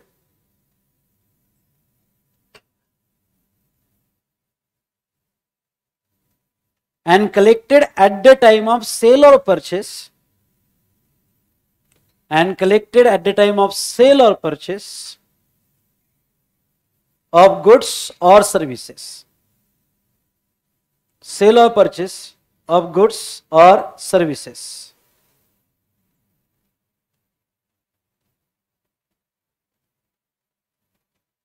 Goods or services. Last example income tax wealth tax अब wealth tax तो नहीं रहा, पर पहले लगता था।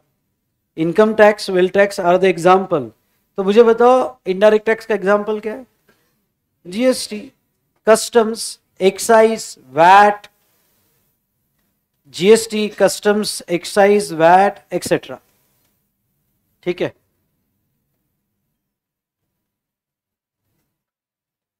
Done चलो। इस तरह से हमने डिफरेंस देखा between direct and indirect taxes तो चलिए दोस्तों, यहाँ पे थोड़ा ये सेशन जो है यहाँ एंड करते हैं और कुछ ऑनलाइन बच्चों की क्वेरीज है। ओके और ये आपकी क्वेरीज है तो वो एंटरटेन करोगा। लेकिन आज हमने क्या देखा? फटाफट देखो। मैं मानता हूँ कि आज को इतना हमारा डिस्कशन ज़्यादा नहीं हुआ बेसिक्स पे ज़्यादा हुआ, लेकिन धीरे धीरे थोड़ा मुझे टाइम देना धीरे धीरे आपका जीएसटी में बहुत इंटरेस्ट क्रिएट होगा। और वन ऑफ़ द क्या? फेवरेट सब्जेक्ट बनेगा। तो चलिए, हमने देखा, बहुत सी बातें एक बार रिवाइज कर देता हूँ। हमने क्या देखा? जब हमने ये चैप्टर स्टार्ट किया तो आपको एक चीज़ बहुत क्लियर रखना है कि डायरेक्ट और इनडायरेक्ट टोटली अलग है। ओके डायरेक्ट टैक्स का ऑब्जेक्ट है इनकम अर्निंग एक्टिव पे, तिजोरी टैक्स है। इनडायरेक्ट टैक्स क्या है बेटा? बिज़नेस टैक्स है। डायरेक्ट टैक्स जो है, यहाँ पे आपको नेट प्रॉफिट या नेट इनकम पे लगता है तो इनडायरेक्ट टैक्स आपको टोटल प्राइस पे लगता है। Okay direct tax is not transferable but indirect tax is transferable from one person to another person. तो चलिए ये कुछ बेसिक डिस्कशन देखा। कल का सेशन चाहे कुछ भी हो जाए मिस मत करना। ओके okay, और कल क्या क्यों? आने वाले पाँच सेशन वो बहुत इंपॉर्टेंट है नहीं तो आपको आगे कुछ भी समझ में नहीं आएगा।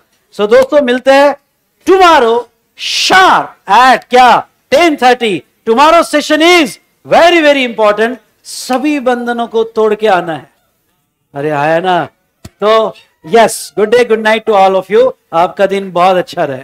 चलो ऑनलाइन स्टूडेंट जो कनेक्टेड है। Okay okay.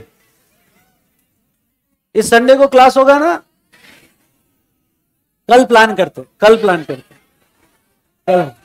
हाँ कल ट्रेडिशनल डे है। तो आपको कुछ नया नया पहन के आना है। और चेहरे थोड़े खिला के आना है। ठीक है? क्योंकि नया पहनोगे तो वैसे ही खिल जाएँगे। ओके। तो कल ट्रेडिशनल डे तो जिस तरह से आपको जैसे भी पहन के आना आ जाइए। ओके यहाँ पे। सर अमेंडमेंट फॉर सितंबर 25 थर्टी फ़र्स्ट अक्टूबर तक तो है ही रहेगी क्या? अभी तो वही है बेटा। अगर इंस्टीट्यूट ने कोई नोटिफिकेशन लाया तो मैं एक्स्ट्रा अमेंडमेंट कवर कर लूँगा। सो so,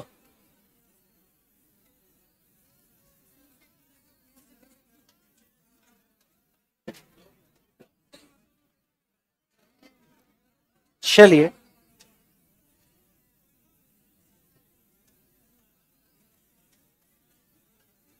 और क्लास टाइमिंग तो रही रहेगा मॉर्निंग टेन थर्टी टू वो टाइमिंग में कोई चेंज नहीं होगा।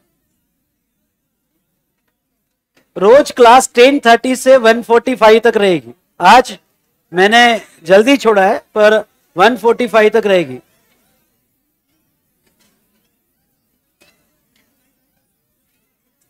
एग्ज़ाम्पल जो करवाया है या प्रैक्टिस क्वेश्चन जो करवाया है, वो आपको वो नोटबुक में लिखना है। सीएमए के लिए 40 मार्क्स का जीएसटी आता है और 10 मार्क्स का कस्टम। कस्टम्स के लेक्चर्स आपको अलग से प्रोवाइड कर दिए जाएँगे।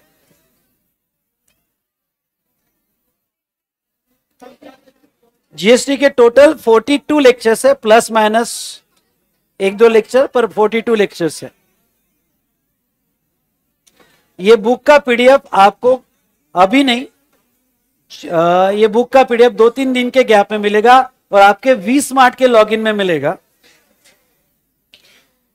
अब लास्ट टाइम बोल रहा हूँ तो आपको दो नोटबुक मेंटेन करनी है टू दो नोटबुक मेंटेन करनी है, एक चार्ट के लिए जो हंड्रेड पेजेस की चल सकती है और एक आंसर प्रेजेंटेशन के लिए जो टू हंड्रेड पेजेस की रहेगी। जिनी बुक आप, आपके लिए अपडेशन में है और आपके लॉगिन में भी रहेगी और आप जो ये जो बुक मिली है आपको, ये जो आपका मॉड्यूल वन आएगा मॉड्यूल वन में एक क्यूआर कोड आएगा यहाँ पे, इसको स्कैन करने से जीनी बुक मिल जाएगी और एमसीक्यू भी पीडीएफ मिल जाएगी। ठीक है? यस अरुण नवंबर एंड तक हमारा खत्म हो जाएगा।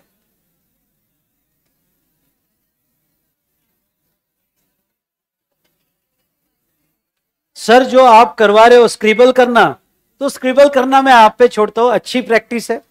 ओके अगर आप स्क्रिबल कर सकते हो साथ में, मेरे दो नोटबुक छोड़ के, अगर आप कोई अलग से डायरी में स्क्रिबल कर सकते हो तो ओके लेकिन मैं हर चीज़ लिखवा देता हूँ, इसलिए स्क्रिबल करना आप अपने लिए कोई सेपरेट डायरी में कर सकते हो।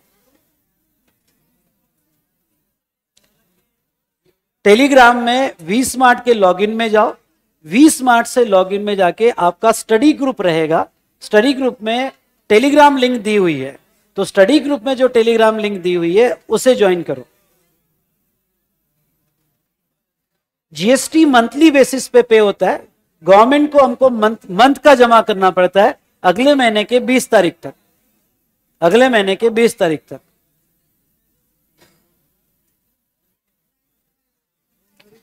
वो बेटा सुहानी 140 टू 500 स्लैब रेट लगाया। ओके क्या स्लैब रेट क्या है अभी इनकम टैक्स का?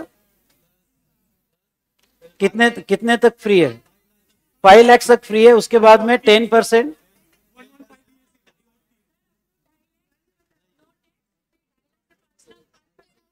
हाँ तो up to two lakhs fifty thousand no tax उसके बाद में ढाई से पाँच फाइव परसेंट पाँच से पाँच से दस, बीस percent. About ten, thirty percent. नहीं स्लैब रेट नहीं डायरेक्ट भी नहीं। वो प्रॉब्लम एग्ज़ाम में नहीं आएगा, हमारे डिफरेंस के लिए वो प्रॉब्लम कशिश, क्या क्या मेरे लॉगिन से जनरेट की एक्टिवेशन की पर ऐप में जीएसटी क्लास का ऑप्शन ही नहीं आ रहा है। अच्छा आपका ऑर्डर जो भी स्टूडेंट को टेक्निकल इश्यू हो गए मेरी टीम कनेक्टेड है, जो भी स्टूडेंट को टेक्निकल इश्यू हो गया, वो ऑर्डर आईडी टाइप करे। और आपका प्रिफरेबल टाइमिंग जो मेरी टीम कॉल बैक करेगी, वो टाइप करे।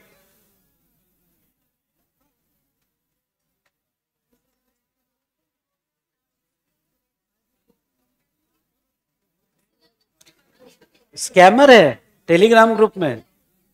एक बार चेक करना। इंटर के टेलीग्राम ग्रुप में वो कह रहे स्कैमर है, कौन है स्कैमर हाँ।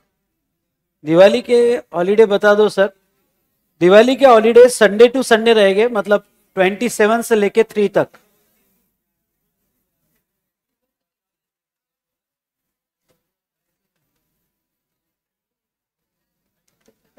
ट्राई करो बेटा ओपन हो जाएगी। और जिसको भी, जो भी प्रॉब्लम है आईओएस पे नहीं दे सकते लेक्चर्स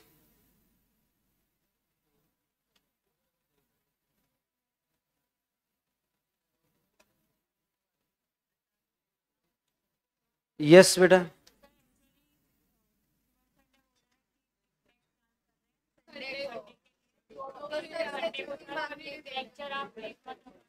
मैं बात करता हूँ सर से।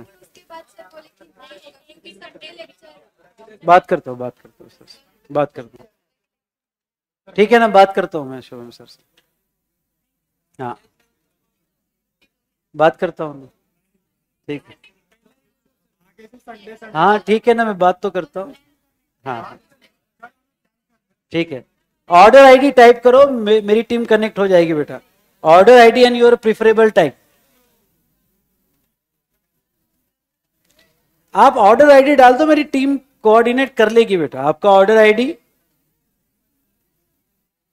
सीएमए में भी एमसीक्यू आते हैं बेटा। जिसको भी प्रॉब्लम है, वो ऑर्डर आईडी टाइप करो, मेरी टीम कनेक्टेड है, वो आपको कॉल बैक कर लेगी।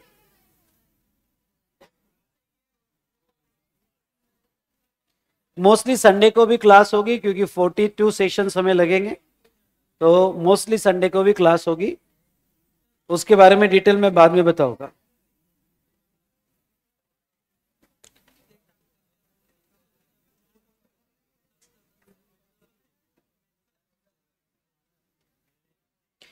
जीएसटी में दो टेस्ट होगी। टेस्ट के टाइमिंग में दूँगा। स्लैब रेट नहीं शो करना है।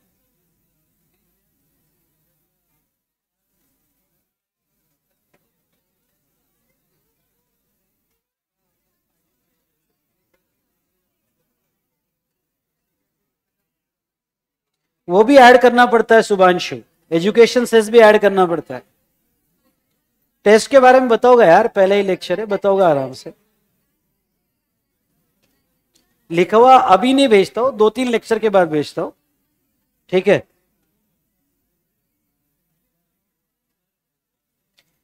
आपके बुक्स आने वाले दो तीन दिन में मिल जाएगी आपको। डिस्पैच हो चुके हैं, आने वाले दो तीन दिन में मिल जाएगी। GST cess only luxury items पे लगता है Deepanshu. GST cess only luxury item पे लगता है। ऐप ऐप में शाम तक लेक्चर अपलोड हो जाएगा।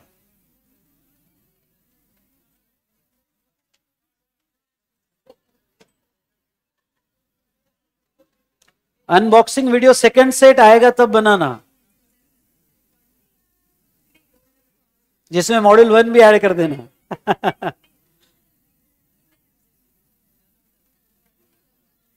अरे टेलिग्राम ग्रुप मध्य फार स्कैमिंग है बघश ना? ऑन प्रायोरिटी हा प्रायोरिटीवर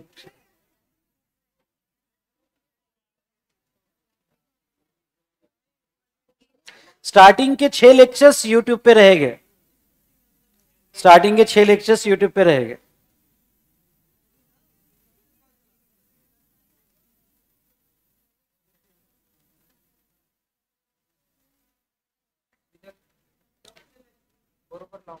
ठीक है। कुछ लेक्चर्स प्री रिकॉर्डेड आएँगे बेटा मोस्टली संडे के। ओके मोस्टली संडे के। Okay thank you thank you to all of you कल मैं वापस तुम्हारे कोई डाउट्स हो गए तो वो एंटरटेन करूँगा। Thank you to all of you बेटा। हाँ जिनको प्रॉब्लम है वो अपने ऑर्डर आईडी डालते रहो, मेरी टीम कनेक्टेड है। दिल्ली के लिए स्पेशल डिस्कशन होगा आगे। थैंक यू लव यू बेटा। आज बहुत खुश लग रहे हो, क्या बात है? चलो, ठीक है। बंद करो। स्टॉप करो।